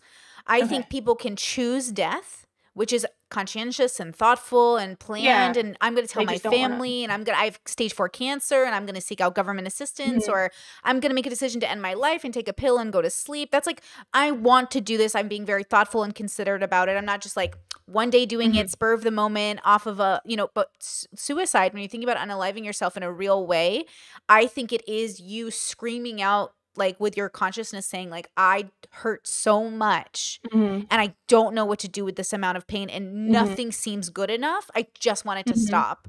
So I know for Mhm. myself, I don't want to die. Like I Mhm. joke like, "Oh, I don't want to pay taxes, kill me now." Yeah.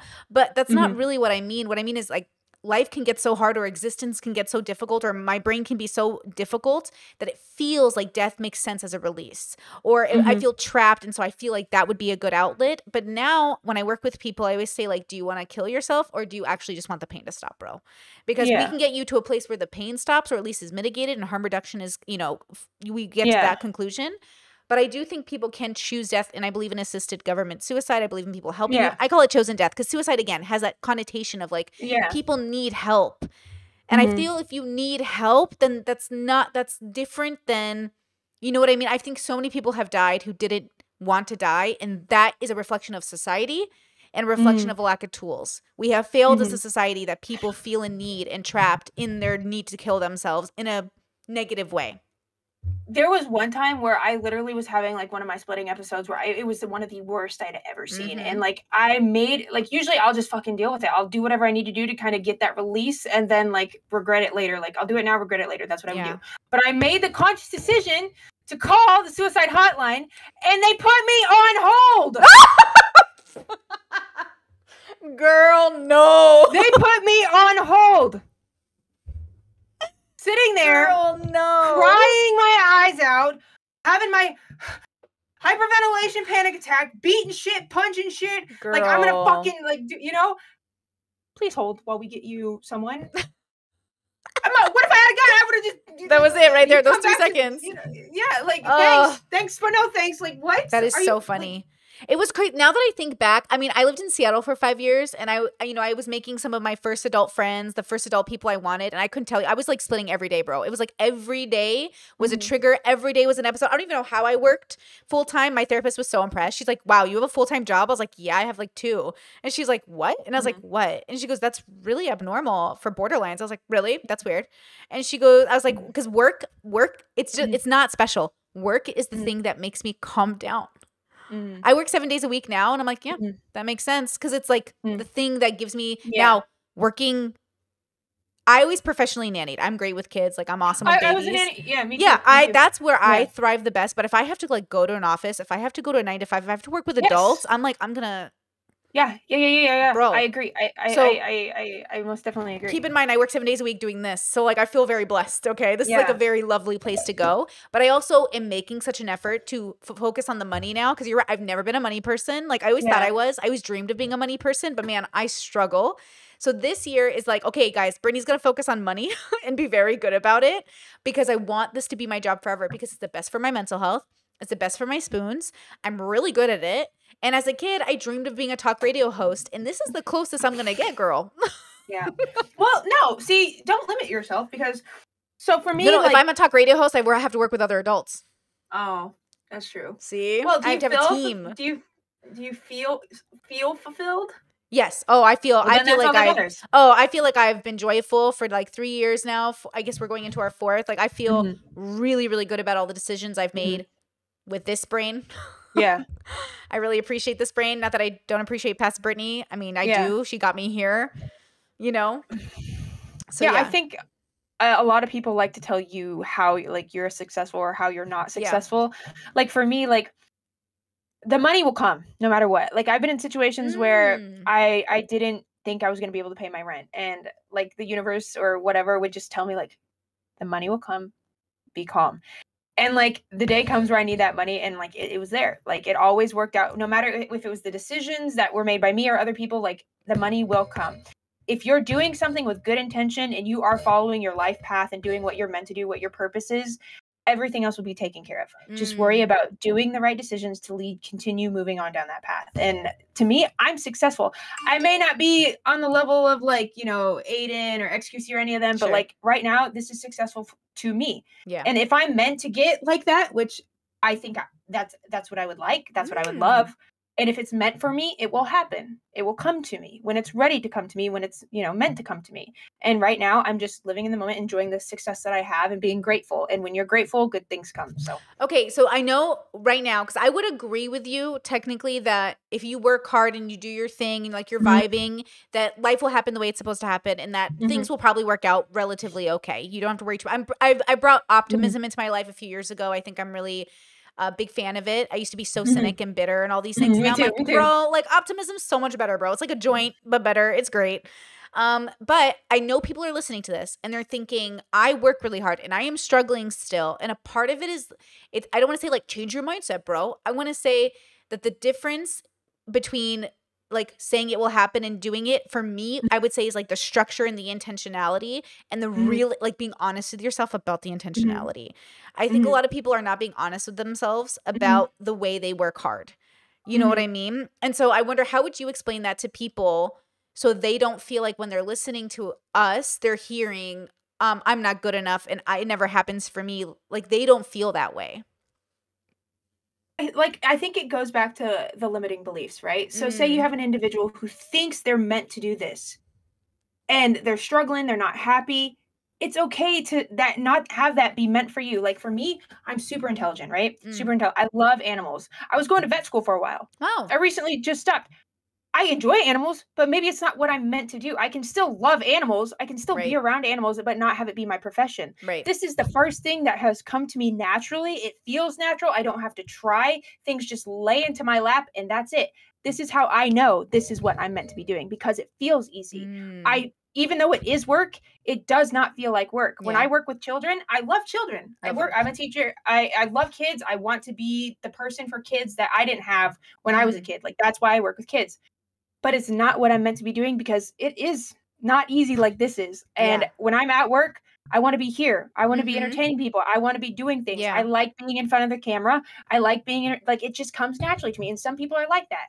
Some people are singers. Some people are actors. Some people are meant to be garbage men because they, Yeah. they like garbage drugs and they're good at it. It comes easy. But I feel like people get so caught up in the fucking oh, sorry, the idea of success when in reality success is exclusive to you. It's Amen. intimate to you. Yeah. So like why should external, you know, people's opinions matter? And honestly, the money shouldn't matter either because you're going to have what enough. You're going to have what you need to survive. And people get caught up in having too much and that's when it becomes a problem and too much money or not enough money like like I said, be in the middle. You don't need too much, you don't need not enough and Right. I don't know. I just feel like people get caught up in the wrong things, and you know, Well, they do. I think that's like a fact, right? Like we're dealing with people. Mm-hmm. We see it on talk radio shows. We see it on TV. We see it on YouTube. Like people will come to. Okay, well, hold on, wait. Now this is a great example I can use towards you actually, because like people will tell me, Brittany, I just want like a great relationship. Then why are you flirting with XQC? okay. So listen, let me tell you why. you want to know the honest answer? Yes, I want to know. so this I listen, I've used the phrase, do you want an honest answer before? But this time, I swear. Okay, I swear me. I'm being honest. Okay, so one. I benefit from having a parasocial relationship with XQC online. Let's just be honest. Content is content.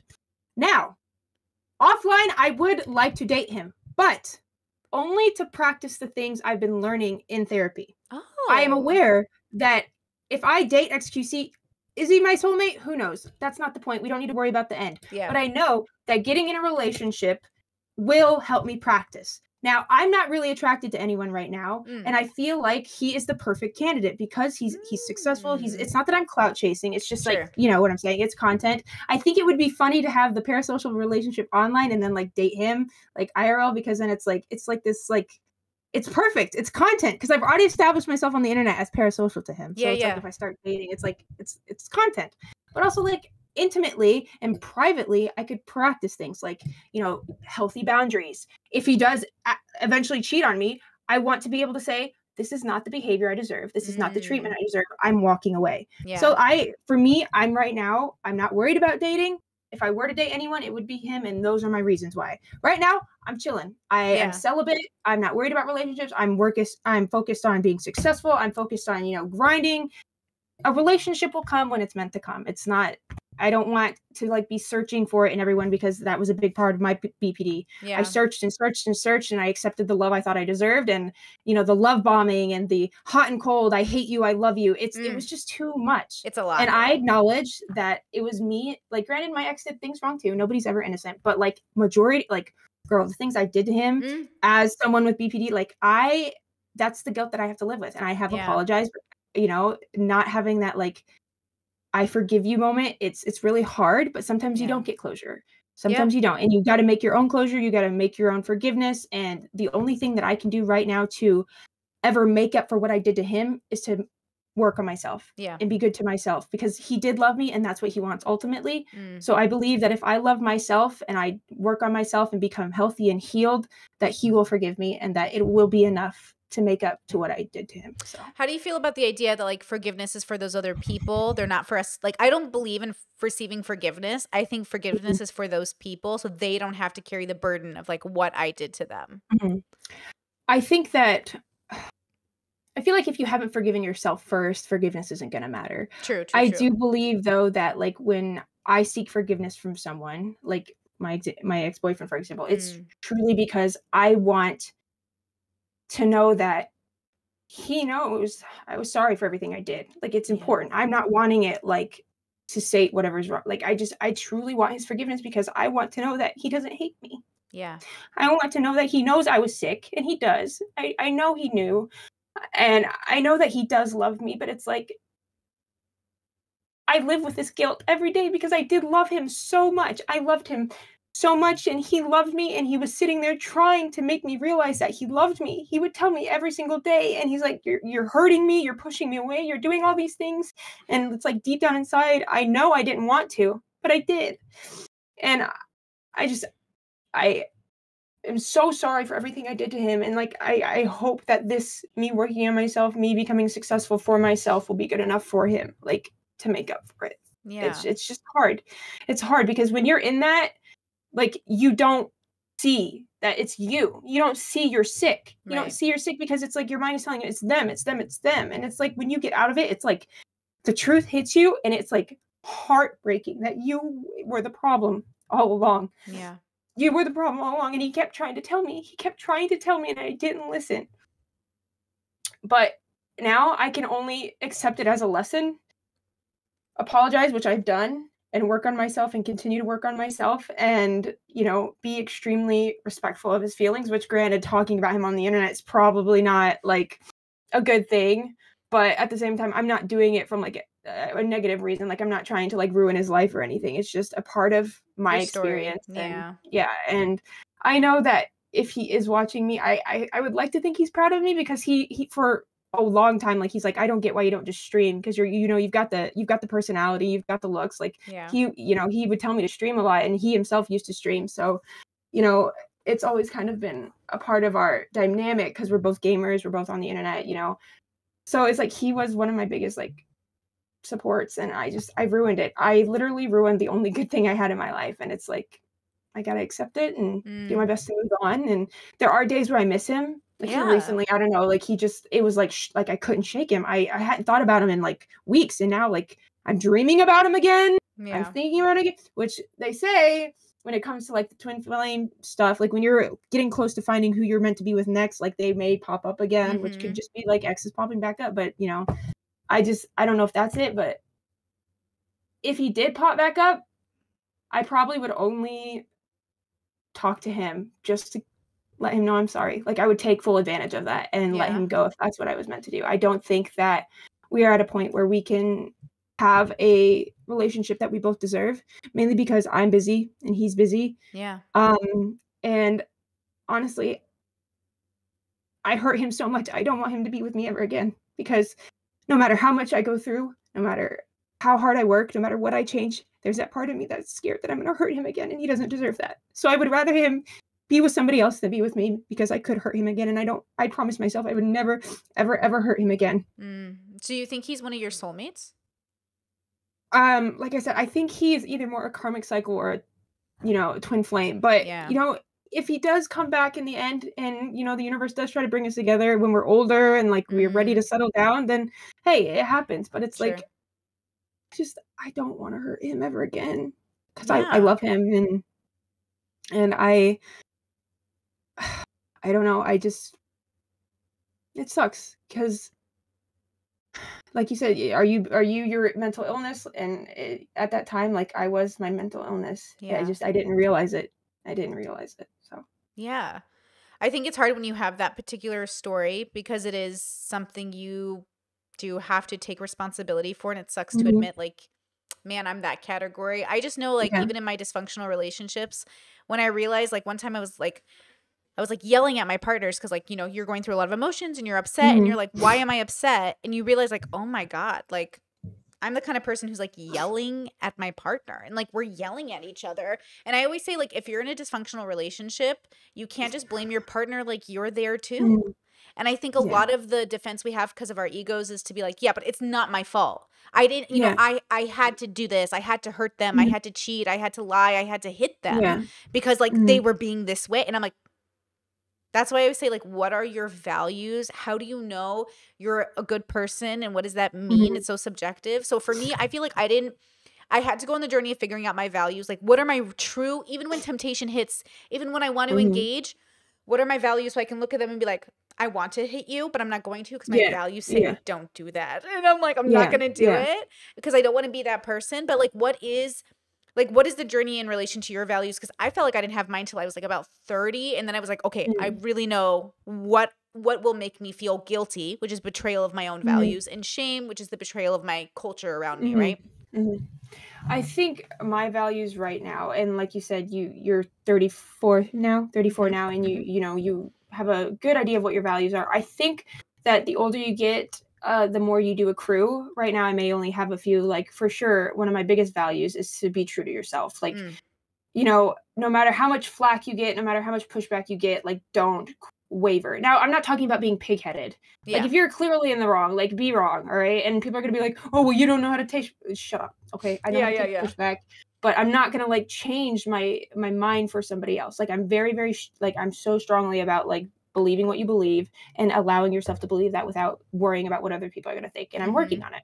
Another value I may have is you know setting good boundaries for yourself because I I tend to allow people to walk all over me IRL and like I'm very timid and shy and like I want I don't want to be like I don't know difficult with people because like you know I was made to feel that way growing up Yeah. so like I, I you know but I've been learning to set boundaries like I don't want to do this I don't want to do this and so if you have a problem with that bye because if you have a problem with a very healthy boundary there that says something about you. Totally and people so, will. so people yeah, will. no, most definitely most Yeah. definitely. I, I i think with like a few because there's a without like saying too much there was like there was another individual on the internet who I had to worry about because we were going to do a collab and it's like there's all these allegations or there's this there's this and it's like at the end of the day I can consent. If I say no, Mm, that's my boundary. yeah. I can go in and do this, but I can make it to where my my boundary is not swayed.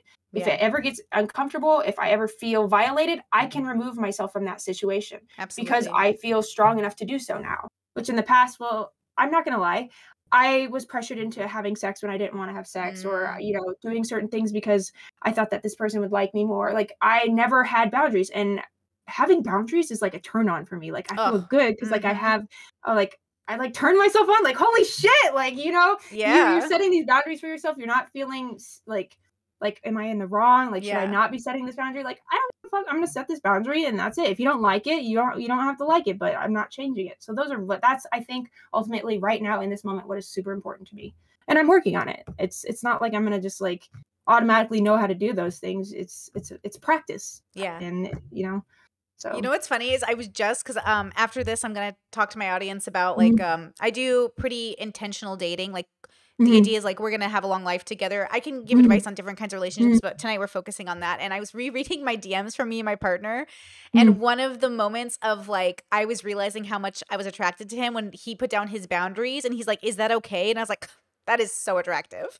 Like, Mhm. please put down boundaries. Please tell me you know yourself well enough to say, "Hey, like I need to go to sleep. I have work in the morning." And I'm like, yeah, "Cool." yeah. because I've dated so many people in the past that just unintentionally their boundaries and my boundaries don't align. So they don't Mhm. mean to, but they're like, stay up all night and talk to me. And I was like, I have borderline. I need to sleep. I need to eat and I need to drink enough water. I need to take Mhm. care of my body because Mhm. I noticed over the last four years, I feel like one of the reasons I've been really good about my issues is that I have got enough sleep and I have focused on water and food. I focus on like I taking care of my body.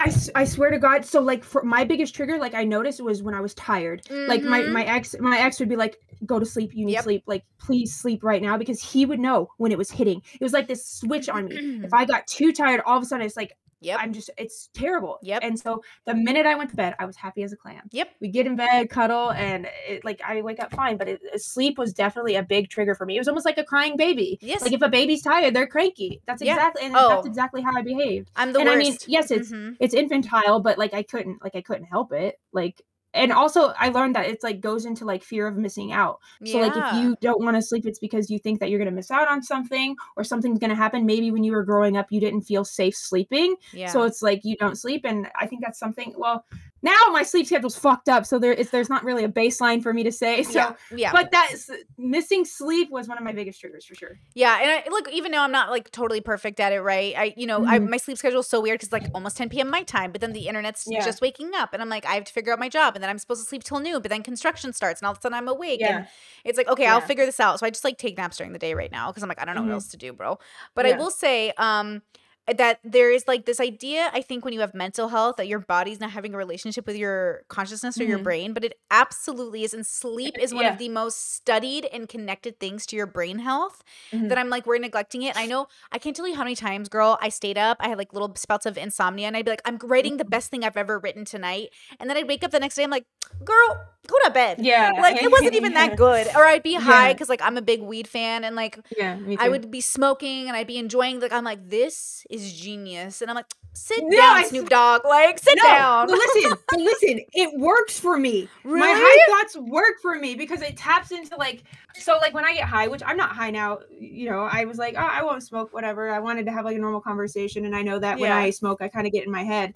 But like, Yeah. I have some of the best thoughts when I'm high, and I think honestly, weed kind of lowers my inhibitions, which allows me to heal even more. Mm. So my favorite thing to do is get high, meditate, and journal oh and for I sure did I did a lot of the inner child healing while I was high and it helped me like uncover memories that I didn't even know I had like learned a lot about myself. yeah I think weed is a spiritual thing, for sure um especially if you smoke weed with intent. oh Every time before I smoke I set my intention or set like what my goal is for that Yeah. high and it it gives me exactly what I want. I always So ask myself a- right am I gonna party tonight Mhm. or am I gonna meditate tonight Yeah. and these are different intentions even when I do shrooms when I do DMT when I've done acid do- whatever I want to do shrooms so bad. I want to do Girl, shrooms. my last trip, girl, I'm not gonna play with you. I did Mhm. this trip and I did it outside, and I sat there and I was like, I would like to be sober now. I was like, oh, I took too much. And like I'm Yeah. sitting there and I'm having this trip and I'm seeing the world tipsy turny. I'm seeing the Mhm. sky like the ocean. And I'm like, what would Luffy do right now, girl? Like, Yeah. what would he do?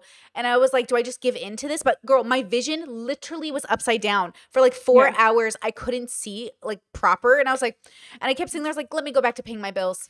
Jesus Yeah. Christ, let me go back. Well- but it was so great. Like the gods were there and like all these gods were like, do you want to come Mhm. party with us? And I was like, you know what? I am very grateful for my life. Yeah. Thank you for reminding me of how much I like my life.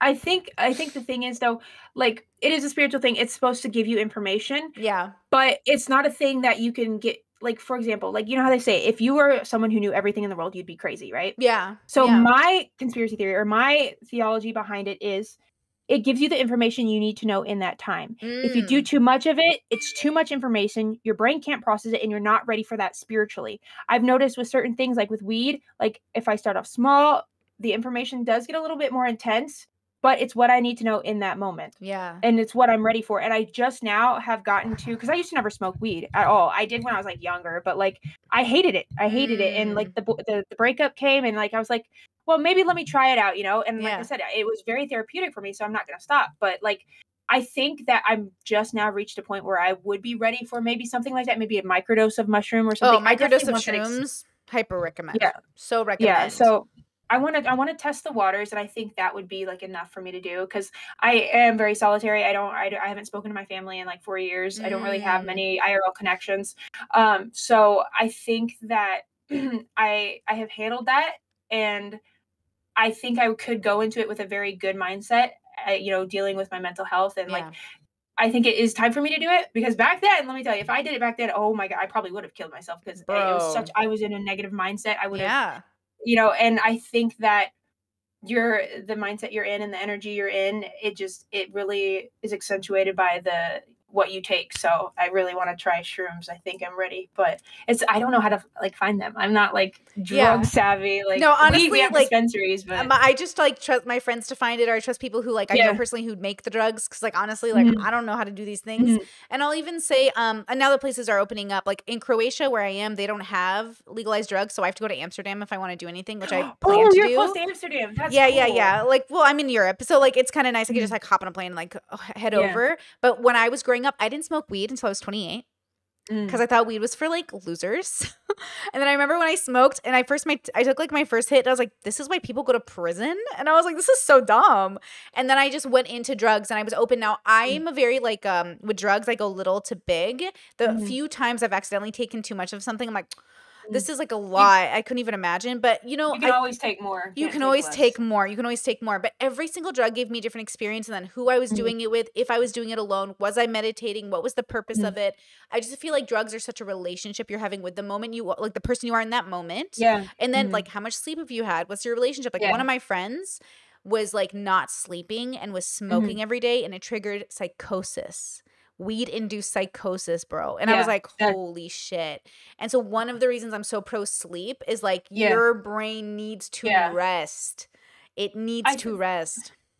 I think that that's another thing like I'm I'm trying to pay like I said listen to listening to your intrusive thoughts and like deciding Mm. which one's a healthy intrusive one and which not and I've really like note I've caught myself like having certain thoughts and it's like no you know that's crazy so I think that awareness Yeah. at least as long as you're aware that Key. already separates you from I agree. the, craziness of it I like, actually at least agree I'm with that. aware I I'm aware of the negative thoughts so it's like it's not that bad granted it's bad but like at least you're aware of it and that's something Right. you can work on Oh, my intrusive thoughts feel like Brittany. Like that is a Mm. thought, girl. And like my partner and I will be like, I just had the craziest intrusive thought. And I know it's not real, but like, whoa. Yeah. And it's like you're sitting Yeah. there thinking, like, what is this? But it's Yeah. not once I realized now, let me tell you, before I got diagnosed with borderline, I literally thought my intrusive thoughts were me.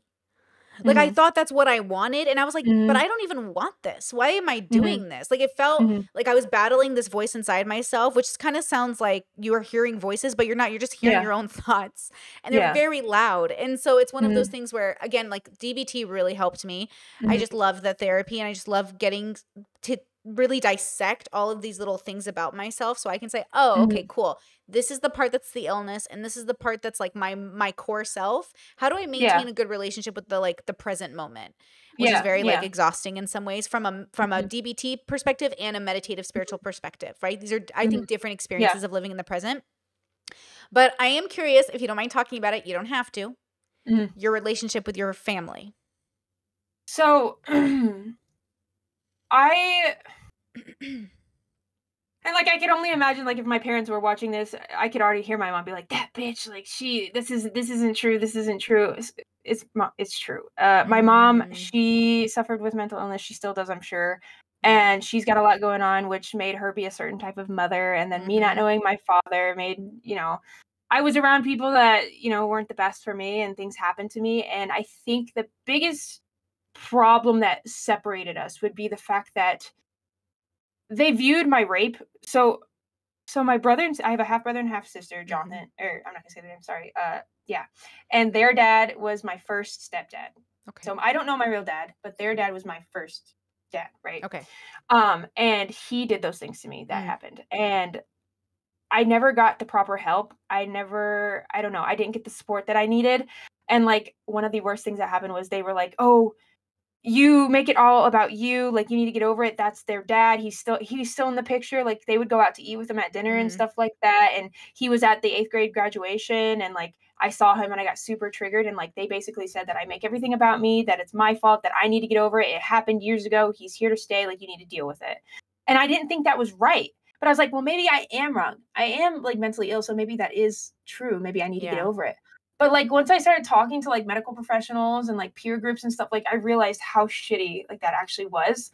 And like my mindset, like granted at the time the decision I made to leave home was very like it was it was in, inspired by a lot of different things, mainly like abusive relationships and threats and all these things that just and then like my parents not being supportive and it was too much and I, I went to fight and flight fight or flight and i and i got the heck out of town and you know i've been living on my own and my parents i've tried to fix the relationship and i've tried to reach out When you say with your parents, do you mean with, with your my stepdad? mom and my mom? second stepdad i'm sorry Okay, she's got remarried now she's got it, got it, yeah got it. she's remarried now Okay. and like i try to reconnect but it's like mm-hmm. you can't heal in the environment that hurt you yeah, and yeah. until my family can like take responsibility for some of the bad things that they've done which i take full responsibility for i know how difficult i was i know i reacted wrong i know i did things wrong like i'm very aware but at the same time it's like you can't sit here and tell me that if you had a daughter you would sit there and say you need to get over it. It happened. You need to deal with it. You need to get help. He's still in the picture. You got to move past it and stop making everything about you.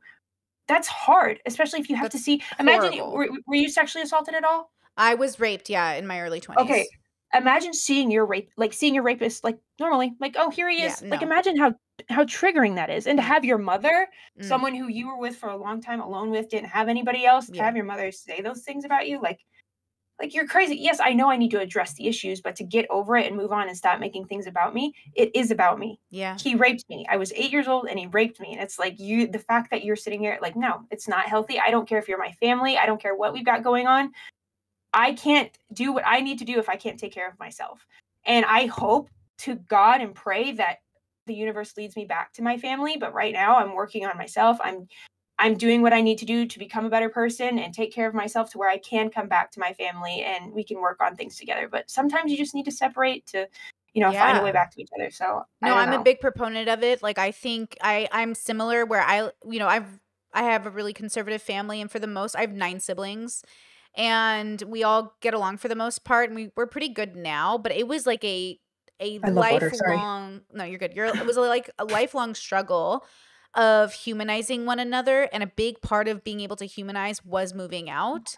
And I will say like I am nowhere near that status of abuse, but I still Mhm. obviously have my own versions of it growing up. Obviously, I have borderline. Yeah. Like sometimes I look at my family and I'm like, I wouldn't have borderline unless I was in this family, guys. Like, so like, hello, ma'am. Like, I'm taking responsibility for the fact that it's my responsibility now, but it came from somewhere. And if we don't like pay attention to where it came from, you know what I mean? We're not gonna mm-hmm. we're not gonna stop the cycle of abuse, right? We're not gonna stop the cycle of mm-hmm. mishandling like queer kids in this family, which is like m- past my family. It's like f- generations of a lot of Middle Eastern people, right, who are suffering from homophobia. Well, anyways, I will say moving out is everything. Like I always tell people, I would rather work three jobs than live with my parents, and I love them. And I lived with them for a month before I came to Mhm. Europe because I got married and I moved here. I lived with them Mhm. for a month, and girl, the whole time I was like, "Holy shit, bro!" Because like Right, they yeah. they don't mean to do it because they're just in their own bubble, but they're the in the and they're not even like they just invalidate and invalidate and it because again they're trying to make you change Mhm. because they want you to think more like them so they're comfortable and they feel like they don't even mean to like they're not being cruel they're being so human but it is so freaking triggering and you're like i Mm. i can't with this bubble bro like i love you you're so fun can we talk Yeah. about anything else but this Yeah. and they can't like i remember one time um i got triggered and i disassociated and right when i Mhm. disassociated i heard my siblings say oh there she goes and like they all know i do it and then my parents are like Mm. what's wrong with her why are you doing that like see this is proof like this is proof like i was right because my mom kept saying like you're gay because you must have been molested and i was like i'm not I was never molested as a kid, as far as I know. Unless you know something, I don't know. But my Mhm. mom has this obsession that like queer people must have been abused as children. Mhm. I think that sometimes could be the case. Well, of course that could be the but case, I don't right? think. I don't think. I I do believe. Wait, for the that, like- majority? No, I'm saying like Oh. majority is nat. Maybe it comes Yeah. naturally. Like For I, sure. I don't. I'm not educated enough on the science. I do know that homosexuality does appear in nature. Yeah. And I'm a very biological person. I like science. I'm an Mm. animal science major, vet school, yeah, all that. So like I, I, my frame of reference is very sciency. yeah. So for me, homosexuality is present in nature. So Yeah. I think it is a natural thing. I would argue um, that everything humans doing do is nature because we are Mm. nature. What do you think Yeah, about yeah. that?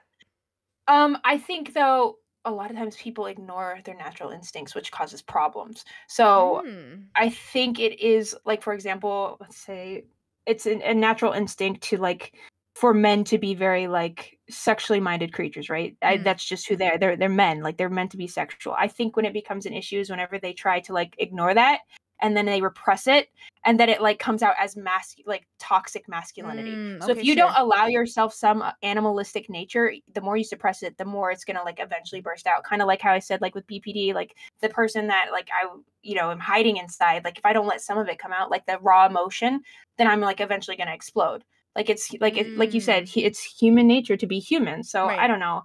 I I feel like people get so caught up in like they think they love people, they think what they're doing is out of love for them, but I think they forget to ask what would make you feel loved. Yeah. I think that is the question because you may want to love me and think that telling me to remove my tattoo is like loving me, but for Yeah. me, like what you could do to make me feel loved is like be like, oh, fucking cool tattoo. You want to get rid of it? Get rid of it. You don't. You don't. Like hypothetically speaking. Just so we're like, not getting rid of the. XQC tattoo. Is that what you're telling me? Girl, it's it's it's almost gone. It's it's literally okay, fading. fair. That's It like, is. Yeah, it is. okay like it's it's not that serious and plus like i said i rebranded it it was just a reminder of all the things i've achieved so far it's funny Yeah. it's a it's a good part of the lore and it's disappearing and it's not my you know first stupid Yeah. tattoo so it's not that big of a deal but yeah, yeah. like it's just i feel like people think that they're doing what's good for others but they forget to ask what others want Oh yeah. and i'm guilty i'm guilty of it too because we live we're very egotistical too like course. egocentric it's natural to have a little bit of ego and like you are your reality so it is fair but at the same Yeah. time like what makes you a good person is being aware of that and like Mm. checking in on people like what would make you feel like you know what i'm Interesting. saying How much responsibility? Because like I think I struggle with this. I always say like everyone is good in their own minds and therefore Mhm. people are good and i think that that's hard because i think if i if i judge people through my values like most people would be bad and i don't want to do Mhm. that. I only want to judge myself through my values and then of course i want to like maybe contribute to society in certain ways like maybe like we don't have sex with teenagers when we're very old. You know what i mean? Maybe we don't you know pri- like Yeah. prey on the youth in that way but Mhm. that's that's making a prescription that's saying i'm gonna cast a value judgment on you like i think you're Mhm. bad if you seek Yeah. out teenagers right it, as an old Mhm. person and i do like i do think that makes you bad but it also makes you so Mhm. human and so i'm like okay how do i make peace with that reality so how do you Yeah. judge whether or not someone is really good or bad like how do you make how do you come to terms with it this is not something i've really introspected on so give me a moment to kind of like fair. work through it how do i decide if someone is good or bad? Well first of all so for me i try to view people i try to separate the person from the act Right, Mm, like- mhm, what they're doing it's not maybe foundationally who they are. Mhm. um i f- like for example like when my kids get mad at me at work right? Let's like like let's say they're having a bad day and like they they lash out they scream at me they yell at me they hit at me that's it's a fair judgment to say that that's not them like it's Yeah. them but they're they're acting on an emotion, right? Right. And I wouldn't say you are your emotions, Mm. but your emotions like are a part of you, if that makes sense. I agree with so, that. Yeah. So for me, I'm really like trying to. I haven't like really thought about it too much, but I'm trying to separate the person from the actions and realize Yeah. that they are a human. But ultimately, if you murder someone, that's wrong. If Mm. you hurt an innocent person, that's wrong. Because like innocence is one of the most like valued things in this world. Like kids, animals, Yeah. like there's nothing more pure than a newborn baby. And if you can hurt something pure, you're Mm. evil. You're Mhm. evil. Like that is what to, to me that is what decides whether or not you're good or bad. Mm. Like the stories you hear about like these newborn babies found in you know Oh, trash yeah. cans and like Mm. All these like kids being murdered. Like everyone can wholeheartedly agree that kids are innocent, and Yeah. if you can do that, like you're evil. Sorry, you're Yeah. there. I don't even like. I don't That's care my soft spot, sick, too. I don't like that's my soft spot too is like i can Yeah.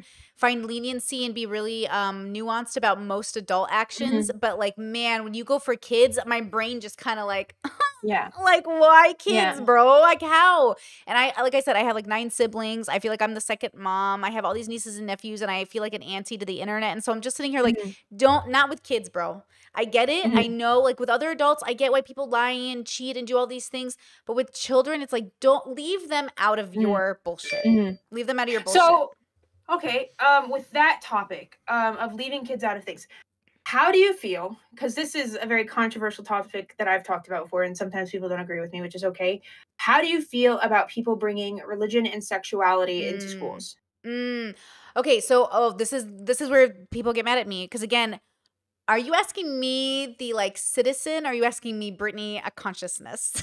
What you foundationally what you believe in, what you operate off of, Okay, what you would like true Yeah. feeling about it. to be honest with you, I that's the mm, I want people to be free and I want people to make Mhm. decisions they think are is right. And I feel like some some communities of religion have been good for people, but the Mhm. problem I have is I think I think it does more harm than good to certain kids. And so when you ask me like are kids harmed by religion? It's like, yeah, if you're the gay kid, if you're the certain kind of kid, if you're this kid. So part of me is like don't do it. And another part of Mhm. me is like do it but let people be able to do it and get out of it. Mhm. So I struggle with this because again, like I I can see why certain things work for certain mm-hmm. cultures and certain people, but they're not going to work for everybody. So again, like mm-hmm. I even struggle to answer it if I'm being honest cuz my instinct is to say don't do it. Don't raise your kids mm-hmm. religious, don't raise your kids anything. But the Just dilemma is raise them as- like yeah. how, how do you do that? Like how do you not raise your kids in this thing that you feel like means everything to you? Yeah. So as an educator myself, like I definitely I get like it can be difficult for me. So transgenderism is a very hard thing for me to Sure. swallow. I I don't agree with it, and people are like, "Oh, well, you don't have to agree with it. It's not your life." Exactly, it's not Mm. my life. I, I I believe that everyone has a right to do what they want to do with their own life, as long as it doesn't affect me. And when you and I'm not being hateful, I'm just being very matter of fact about this. Sure. When you get a child, and there and it's been evident by social media stories, whether it's fake news, like let's let's say like firsthand accounts of the people doing these things, Mm, like on TikTok, for example, you have teachers who are like, you're they're convincing kids sure. that they're transgender. I, I, I don't think that's a teacher's job. Okay. Mm, I don't think that it's right to bring sexuality outside of a scientific standpoint. I don't think it's okay to bring in like if you're having a health class where you're learning about reproduction and stuff like that, Sure. and that's that's fine. But leave it strictly Mm. scientific. Do not introduce emotions or anything like that into sexuality. Don't talk about like you know, oh well, maybe you need to transition, or maybe you know you're straight, maybe you're this. Just be scientific about it because the, the idea behind school is to teach them what they need to know, right? mm. And children do not need to know that they have a choice of whether or not they can be put on hormone, you know, therapy or this or that. Like it's and it goes for straight people too. Like don't don't like sit, like get mad at your kid because they put on a fucking dress at 2 years old. Mm, mhm, They're mhm. being a kid. I have a student that walks around my classroom wearing an Elsa dress. Do I care? yeah, I yeah, don't yeah. care. I don't I don't encourage it like, "Oh, maybe Sure. you're a girl. Maybe No, you're being a kid. I Mm, used to wear I used to, you know, do stuff as a kid that was seen as boyish. And I didn't I'm not transgender. Like it's it's these kids every both sides are sexualizing the kids. Like we just need Mm. to you guys can argue with each other, the LGBTQ whatever Yeah. community and straights, y'all can argue but leave the kids alone. Yeah, Leave yeah, yeah. alone. Okay, I'll say I'll say like this because I'm really pro LGBT. I will say like I don't consider transness as a part of sexual orientation. I consider it as a relationship to gender. Mhm. So I don't sexualize Mhm. being trans personally because I feel like Mhm. those aren't the same thing. And I will say like trans kids exist. And I think if you're trans as a kid, you need to be taken care of, right? Actually, Mhm. one of the first date questions I ask on a first date is like what would you do if we had a trans kid? Because that will Mhm. tell me if we're on the same page and Mhm. caring for our child because Mhm. neglecting your trans kid is just as bad as like neglecting Mhm. any of your children. But I will say sometimes it happens where kids aren't trans and Mhm. parents do push the narrative. Sometimes it happens where Mhm. your kids are gay and parents put the narrative Yeah. that they're not gay. Like, hello, my borderline. Hello. it's like from my Yeah. parents trying to convince me I was straight and being gay was Mhm. wrong and all that stuff. So my fear is like parents aren't equipped because of culture and religion and, and Mhm. beliefs to actually handle reality for what it is. So they Mhm. might make the mistake of assuming their cis kid is trans or assuming their trans kid is cis or assuming their gay Mhm. kid is you know so i i i can't really fault humans for being human but i can say that i would Mhm. encourage them to seek out what is true versus what is not. Now i would ideally love to send my kid to a school that was like pro lgbt in case they were Mhm. lgbt right? I live Mhm. in croatia it's a catholic country they're not here for the lgbts right? They actually recently made gay marriage like constitutionally legal which is like very weird to be here but at the same time that everyone minds their business so i feel a little like i feel safe here.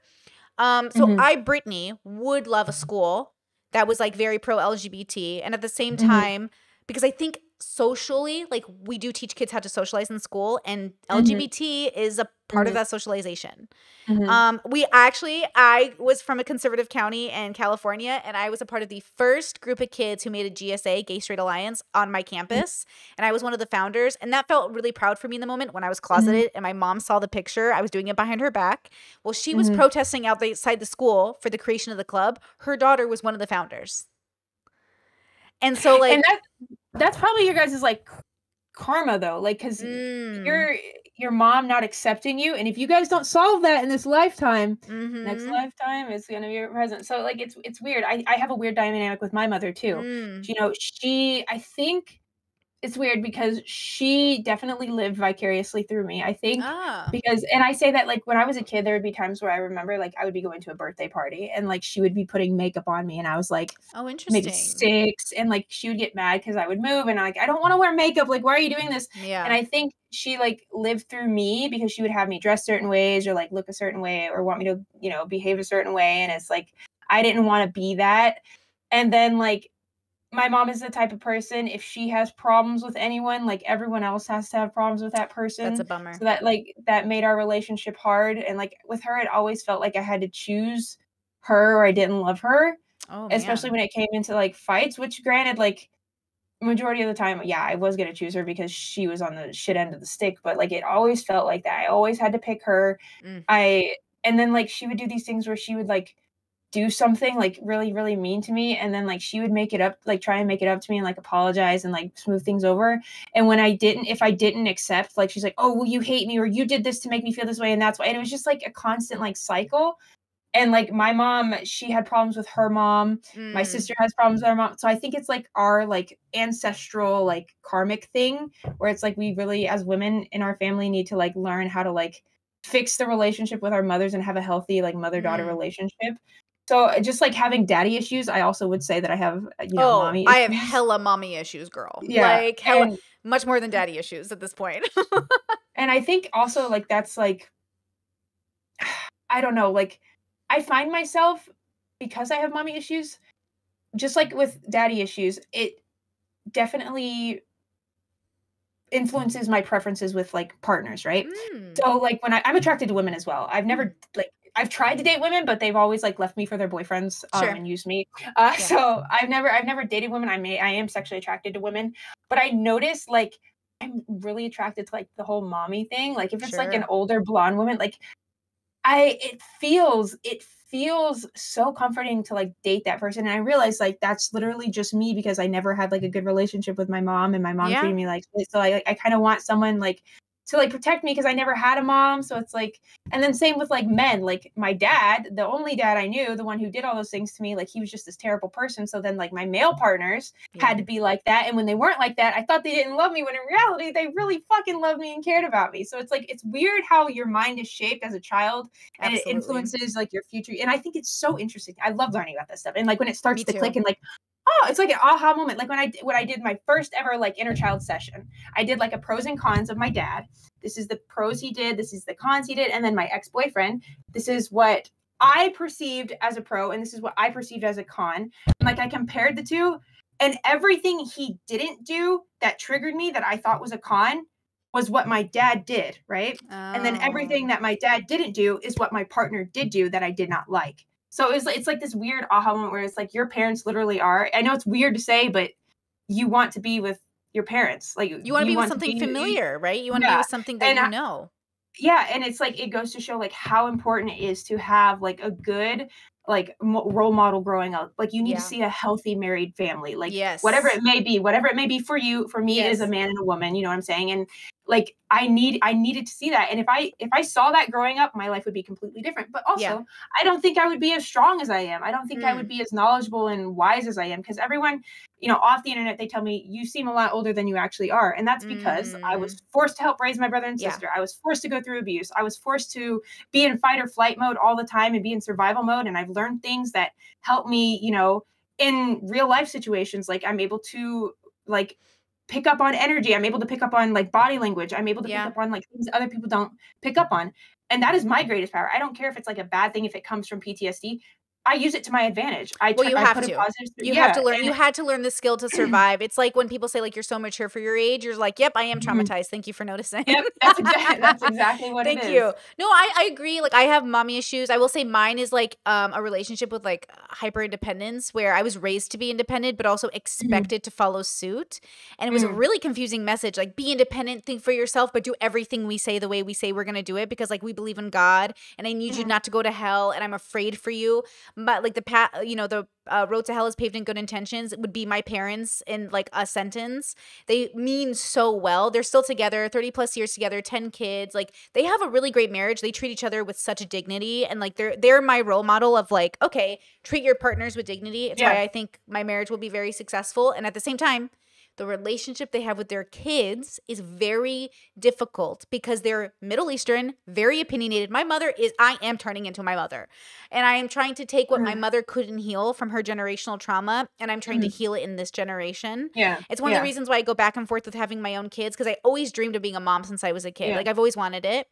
Um, mm-hmm. Getting diagnosed with fibro took like all the remaining spoons I had to think about mm-hmm. raising a child. So now I'm like, fuck, can I even do this? And yeah. a big part of it is that I have a partner that's very open to whatever direction we go into. But the point is, like, I look at my mom and I look at what she went through and why she was so afraid for her kids. And she had so many reasons to be a girl. The trauma in my extended family, from sexual abuse to just incest mm-hmm. to crazy things, was so intense that I think, and we made it look good. We were wealthy and had good jobs, and we made it look really good from the outside. But when you know what's going on behind closed doors, you're just always riddled with this like, do I, am I healed or do I pretend I'm healed? Do I, am I healthy or am I pretending to be healthy? You know what I mean? The whole the whole like pre- am i pretending to be healed? The way i view it and it goes back to like manifestation and stuff like mm. that if you believe it and you live like you are you are.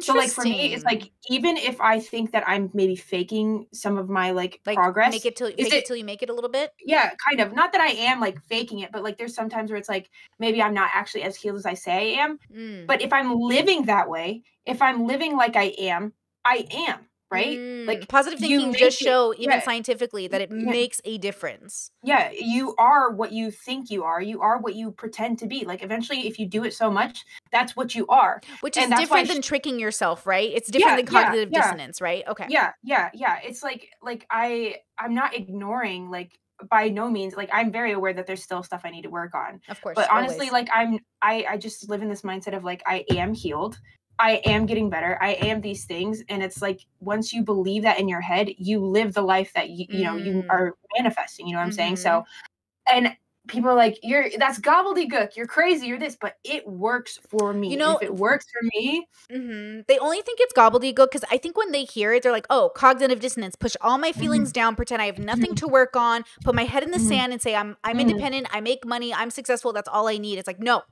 like you have now. I integrated optimism into my life Yeah. a few years ago, and what that meant was when I had things go wrong, when I had like things take a dip, it was like, okay, this is like what is the universe teaching me? What tool am I gaining? What am Mhm. I looking forward to? Is this a lesson or is this my life partner? Like what is what am I gaining?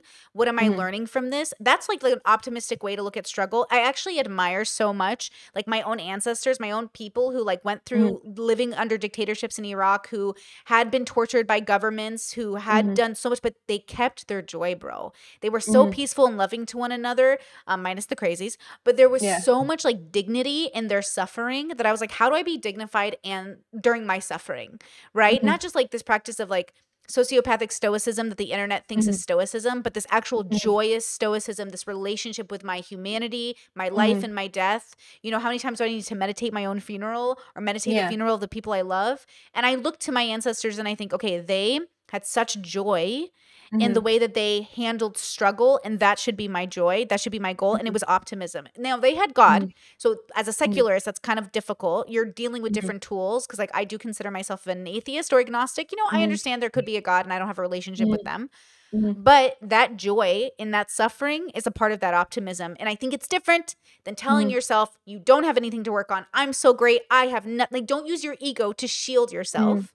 Humble yourself so you can heal yourself. You know what i mean My thing is, uh, you brought up religion, and I guess it's something I do ponder a lot, right? Mm. So, if people are their reality, like I believe in spirituality, you would say you're agnostic, atheist, or whatever Sure. you, or atheist, whatever you define yourself as, and like other people may be Christian.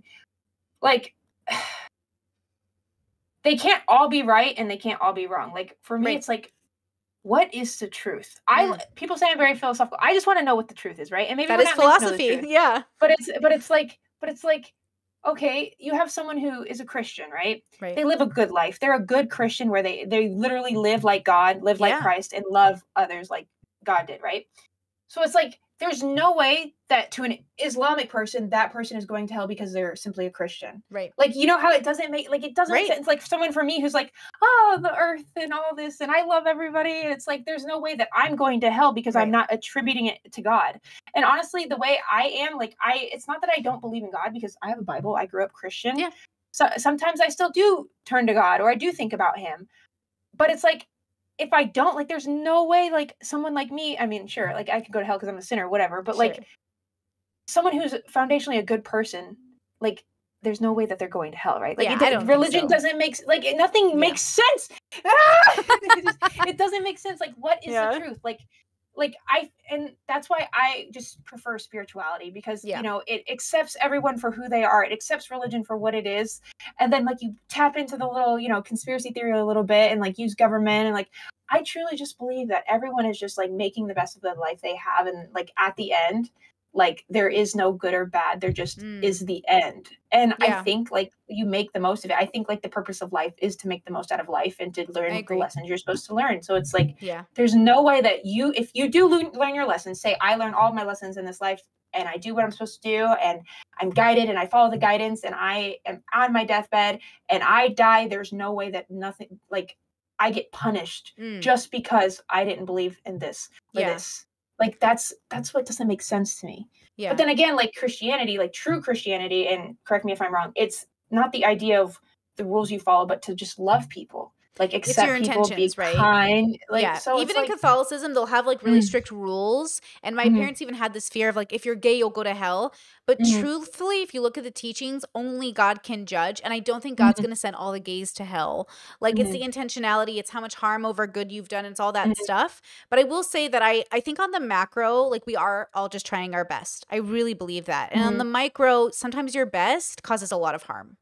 And then Mhm. we have to deal with the consequences of your best being harmful. Mhm. And then we have to talk about that. I think sometimes when people hear me say th- your best, they think like what what you're capable of in your most ideal and it's like no what you're capable of in the moment guys. Mhm. in the mo we're only ever in the moment. There is no future you there's no living for potential there's no i'm gonna date him and he's gonna get better. There's who is he now? Who is she now? Well, who are they now? Who am i right now? This brittany is only capable of so much and she's capable of pretty pretty much like amazing things but it's only what she's capable of. In the future i can't wait to meet 43 year old brittany. She's gonna be so cool. Like i just know she's gonna be so much better like just well rounded and thoughtful and compassionate and she's gonna have so many better tools but i'm i need to earn that right. Like i always say i'll die unwise and i think my life Mhm. struggle will be like earning wisdom which i might not get in this lifetime And Yeah. i don't believe in reincarnation but i like the idea of i'm on this journey to find this wisdom that I might never attain, but the journey itself of attaining that wisdom will make me a better and a good person and a Mhm. thoughtful person.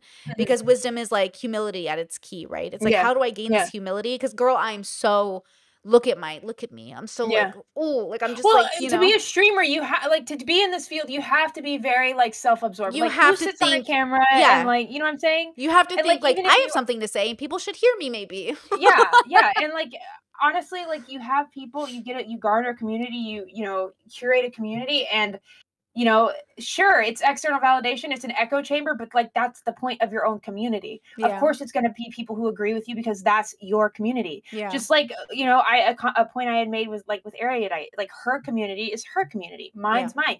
You're Yeah. not going to understand mine. Granted, it may be harmful to your community or other people that your community like care about, but to my community, like that's how we think. And granted, it could be a little dangerous, but like the whole point is like everyone has their own thing, and it Mhm. is it comes from a place of being somewhat egotistical or self-absorbed. let me tell you, girl, everyone on the internet is lying to themselves just a little bit when they're like, I have diverse friends. I have friends that hold me accountable. Bitch, tell that to the bridges you burn, bitch. Yeah, Okay, like, girl, every- please.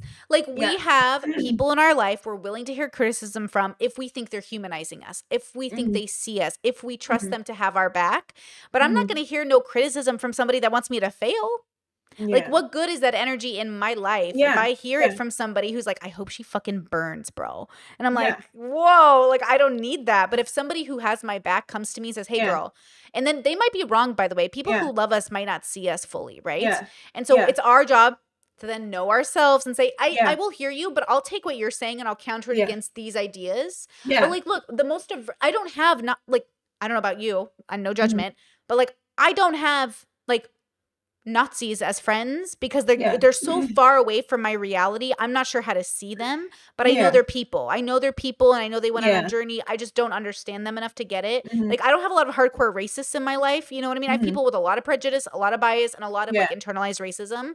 But I don't have like again, I come from a Middle Eastern bubble, so there's a lot of internalized racism there. Mm-hmm. Yeah. But I don't have a lot of people that are like literally like tiki torch Yeah. racist in my life. So I'm not sure how to deal with those people because there's no part of Mhm. me that can relate or humanize them in Mhm. like a really wholesome way.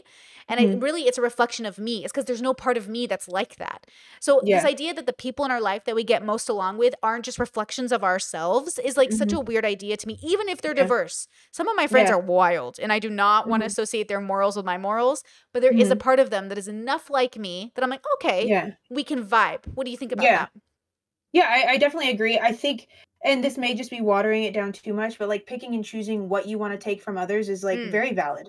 Like Yeah. people are like, oh, you just you just want to take what fits. you." Yeah, because it's my re- like it's my reality, it's my community, it's my Right. environment. Of course, I want to feel safe in my environment, and I think though when it the the moment it becomes problematic is when that isn't an option when it's not a safe space because i Mm. don't think safe spaces are everywhere i don't Right. like right now like i could end the call and be in my safe space because i have that control right right. but when you get into like a level playing field when there's others involved you don't have the right to a safe space right. and people are gonna be like well you're you're hypocritical again because you can't take Mhm. yes i can i'm very aware Right. i'm very like fine with it right like i'm fine with not people agreeing with me but it's whenever it comes from a place of trying to change my mind that's when the problem arises Yeah. and i feel like like i said people just are so worried about that but yeah we garner our own experience and we look for safety when we're where we can get it and there's absolutely nothing wrong with that and like you said the people who say like that's a problem they're lying to themselves because they do it and also it's subconscious it's Mm. Yeah. natural it's instinctual I to agree. like have a preference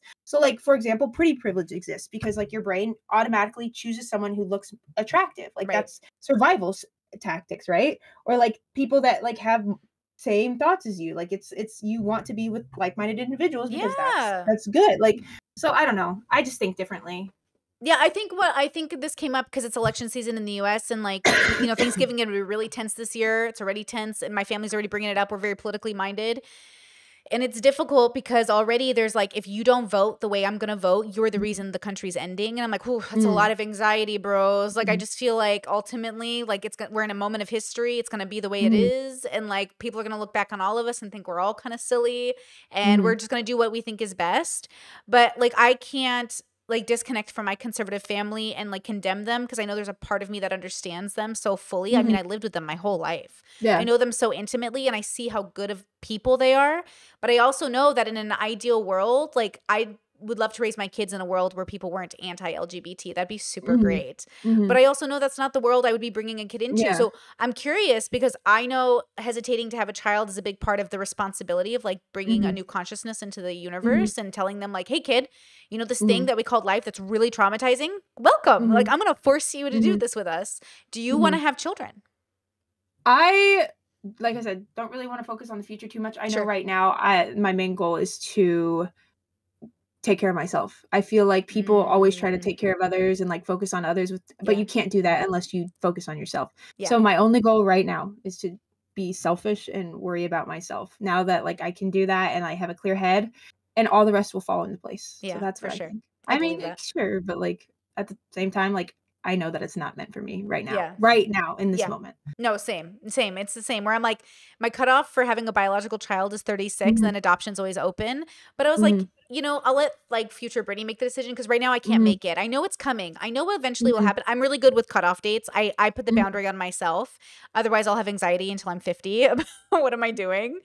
You know? Do you think that's de- detrimental to your journey though? Like putting Mm. that time limit on? Because like for me, like I said, limiting limiting beliefs. Like um, if you expect an outcome or going for an outcome the way Mm. you perceive it, you close yourself off to other I- options or ideas, right? So like if you just say like, this is how I'm gonna be in this moment, and just do what I know is right in the moment, then like later on say you get what you want, but not in the way you actually thought you needed it or For the way you actually wanted it. Because Yes. maybe it presented itself in the way you needed it, the way you deserved it, the way it should have been. You know what Yeah. I'm saying? So it's like, so like when you say like, oh, I've got these timelines or like these, like I think you're limiting yourself, and I don't want you Mm. to do that. But you're you're free to make your decisions. I I think the I I, think that, you're you right. I think that there are when you use this like I call it a tool, you're either going to limit yourself from actually doing the right thing or because I know that I'm open to future Brittany making a different decision, it it's not a Mm. real timeline. yeah, It's Mhm. only real to this Brittany, but if I turn 36 and I have a conversation with my husband, I'm like, "You know, we're going to extend this. We're going to yeah, extend this timeline. Well, you're he will do it with it. me. We're meant to Yeah. extend it. But for now, to comfort my anxiety, I have to tell myself like, hey, don't even worry about this until you're 36, because that's our yeah, our ideal cutoff time. But we also are open to our future self saying, actually, our ideal cutoff time is now 38. And it's actually 40. It's actually 42. I just Mhm. need the like verbalization of like, you're allowed to make this decision either Yeah. way. So, yes, I think you're right that for some people, they're like, oh my God, I'm 36 and I told myself I have to do it by Mhm. 36, but I don't want to anymore. And now I have to because I said I would. And I'm like, Mhm. you're not your past self. You're your current Mm, self. And if your current yeah. self wants to make a different decision, make a different decision. But I think you're right that that that could be a trap for some people. Yeah. Even in my past self. Yeah. I don't know. It's just I have all these ideas and thoughts. It's just like I it's like I'm glad that I've had this like awakening and this change, but also it only brings more questions and more ponder because I'm a very like Beautiful. pondering person. I love to ponder. Yeah, like, same. hmm, hmm, May it never what I'm saying? end. Yeah. Yeah, and it's and it's like I but I think it's worth it though. I think it's worth it this is as sure as I've ever felt about myself, and it just it Well, how could you not be sure, girl, as you seek out more information? It's like it's like learning to care for your hair. It was a pain Yeah. when I didn't know how, and the more information I gained, the more I asked why and how. Yeah, Easy peasy lemon Growth. squeezy. growth and learning. Growth and Yes. learning. No, I think so. Now I'm going to check in with you about your energy levels. We've been talking for a bit here. How are you Mhm. feeling? Uh, I feel good. I love talking. Like I talk a lot. It's just finding people that are willing to listen and like yeah. I don't know. It, that's why I told you I was very apprehensive being Yeah. because like the whole situation left a bad taste in my mouth.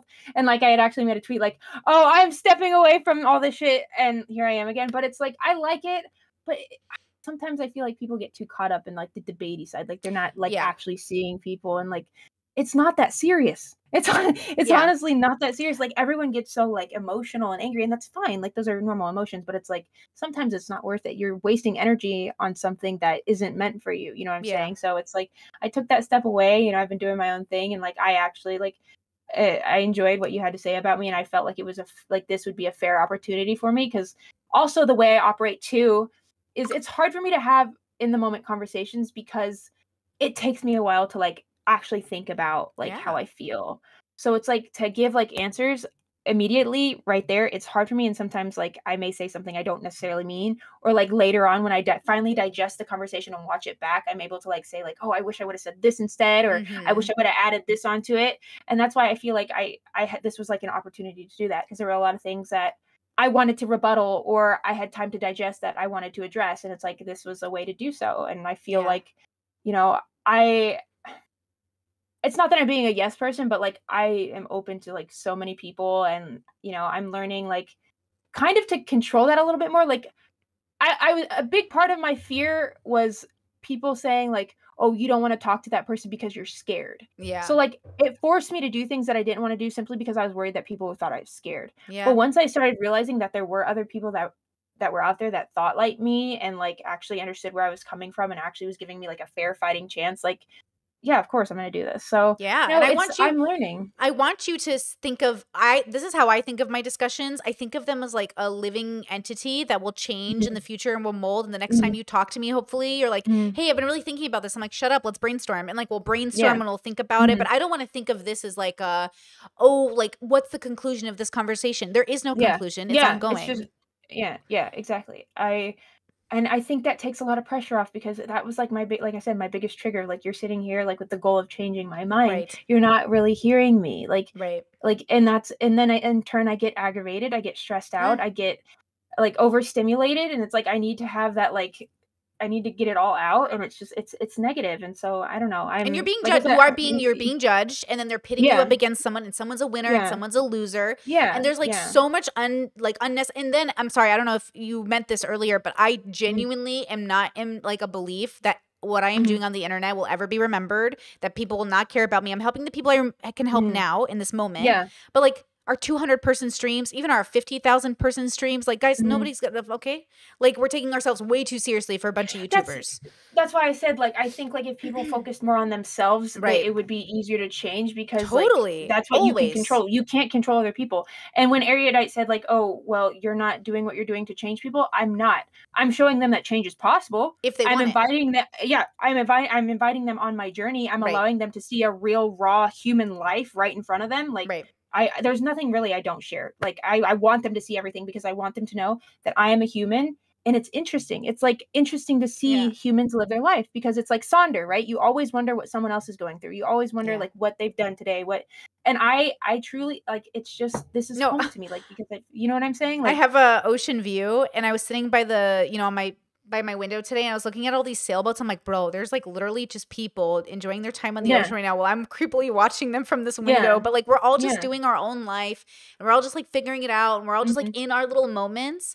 And I Mhm. think I really just want to respect that people are in their moments and on their journey. And Mhm. even though I might disapprove of the way they're harming other people, I need them to know like you are not always going to be this person, and you have the right to change, but you have to want it. You really have. It has to come from you.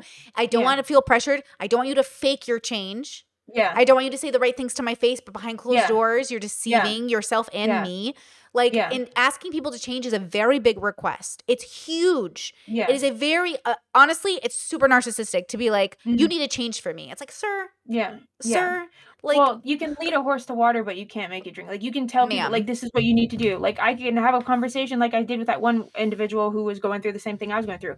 I told them everything they needed to know. Like Mm. that was true. That was fact. Like I, I don't want to like diagnose this person, Right. but like it was scary how similar. Like I literally saw Mm. myself as that person. So it's like maybe you need to go just talk to someone. Like right. take a break from the internet do this and like i was giving all the like good advice which she didn't have to accept it and she Right. i don't think she did and you know i did my part Right. i'm there for that person on a human level but my growth my healing is more important and i have to Absolutely. right now no, So- one so- thousand percent. Which is why a lot of people don't understand why I can look at people. I'm like, oh, look at that journey. That's messy.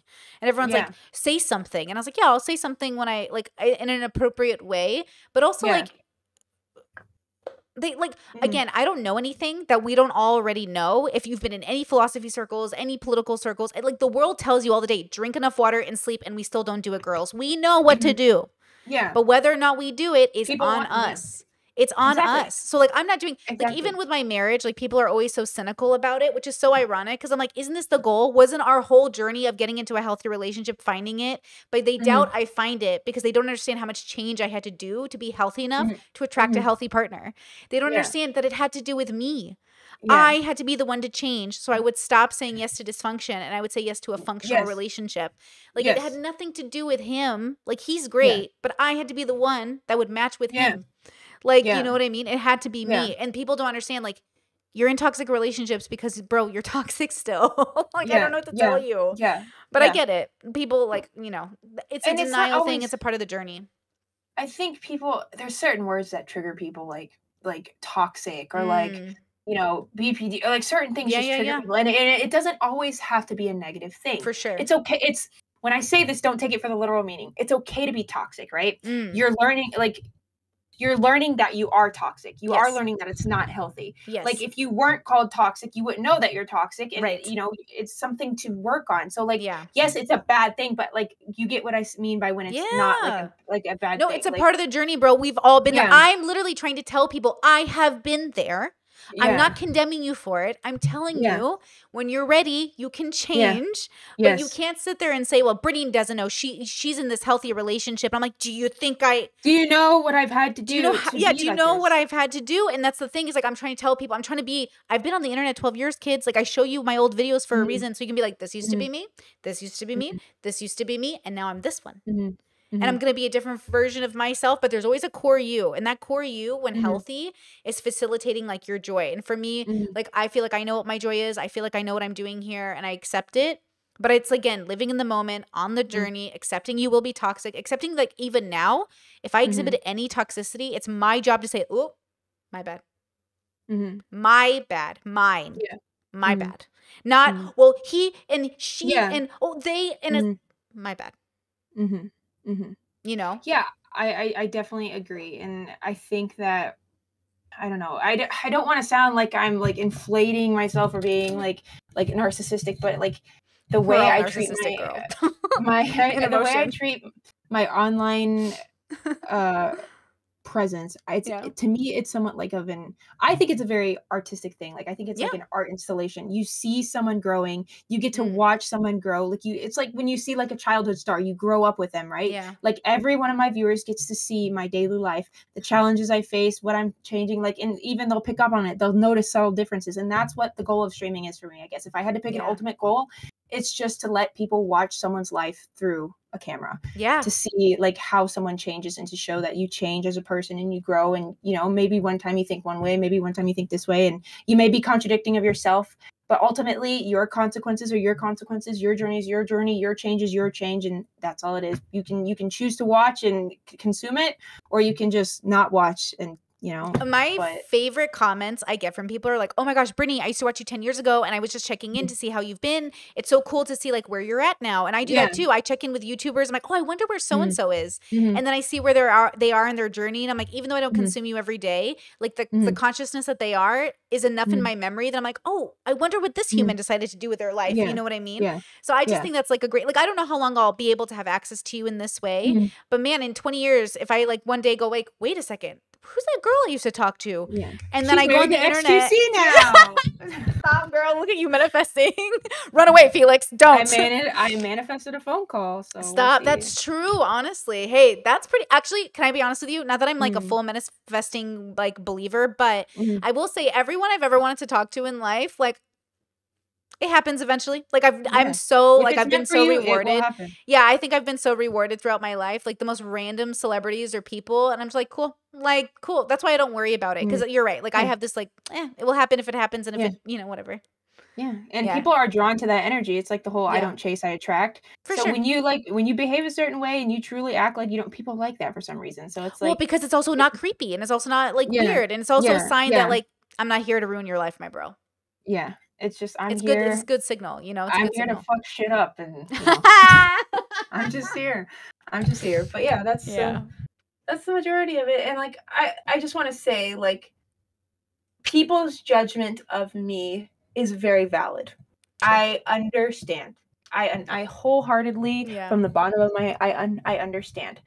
But you cannot get upset when I choose not to allow that like Mm. to affect me, like not to listen to people because like it's my decision and while your opinions are valid, like you can't get mad when I don't want to accept them. And I- Yeah. I feel like people are like you know so caught up on how they feel about me but in reality you know i don't like i said i don't think they actually hate me they hate what i do and It's never about you, bro. yeah people mix that up and i think we really need to focus and you know become more mature in realizing that we hate what people do not the person like you Yeah, can very well sure. not like my actions but to say you hate me or you don't like me you don't know me you don't like my actions just like Right. if you were to do something i i don't like what you did Right. I don't it's I I like you. I don't like what you did. So people I I think people forget that. But then again, you know, it is the internet and people don't sometimes aren't that deep with it. They're just Yeah. surface level. They hate you. They hate your content and they'll let you know. But yeah, I feel like we need to focus more on like the true source of our disdain for people. Yeah. So. No, I think you learn that too in therapy, or you learn that, and even Mhm. like, like I always say, I try to reach out to people. I see them making content about me. If I feel like, oh, they're like really critical of me, I was like, let me just Mhm. talk to them. And then usually it's okay because most of the time, you're right. I don't think we hate the core of people or the consciousness. I think we're upset with what people do, and that is fair. Because like Mhm. sometimes I do things that are upsetting. Let's talk about it. And also, even if we talk about it and we feel like we're vibing, it doesn't mean either of us are going to change. Like I remember one time on the internet, um, people were trying to give me advice about how I should Mhm. change my behavior, and I said, um, I they're like, if you want to be in this space with us, I was like, cool. When I'm in this space, I'll like adapt, but when I'm out of your space, like I I'm not gonna do that, right? So if I'm Yeah. like on my own channel, which is my safe Yeah. space, like Yeah. my community, my people, I want to I want to bring in people like me. Yeah. But if I took that, like that bubble thought and brought it into my bubble, my bubble would then transform to a place where even I didn't want to be full time. Yeah. Because I like to visit. I love visiting people's homes and visiting the different bubbles and exactly, cultures. Exactly. But girl, I don't want to live there.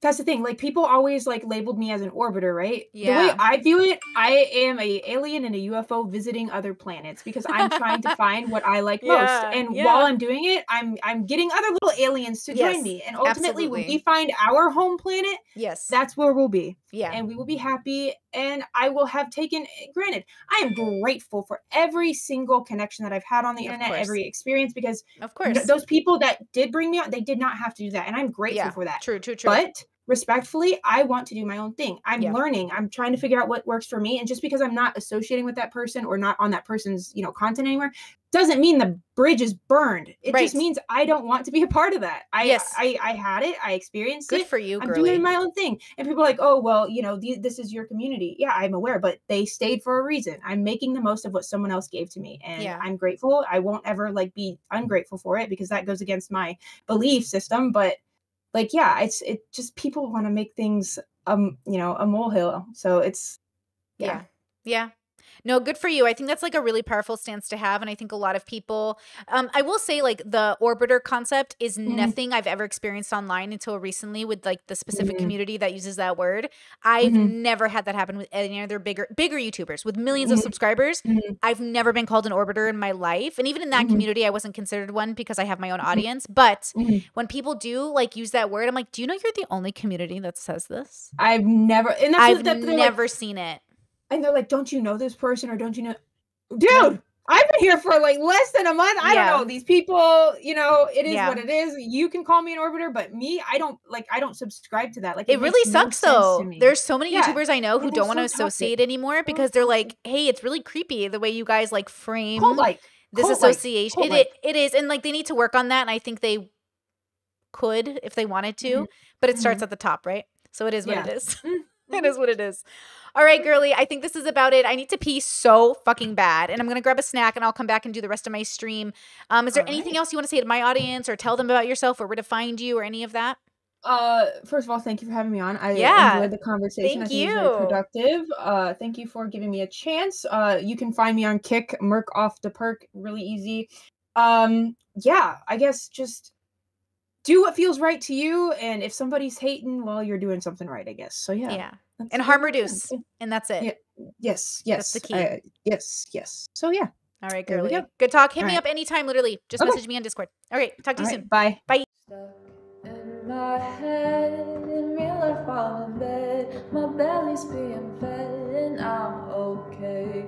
I'm just fine, yet all I do is whine. Not to you in my mind, cause I know I don't make sense. I've been nothing but blessed. So why's my life a mess? Please tell me, cause I'm sick of thinking. Yeah, I'm sick of reaching out for the truth and living life as a fool. Dun, da, da, da, da da da da da da da da da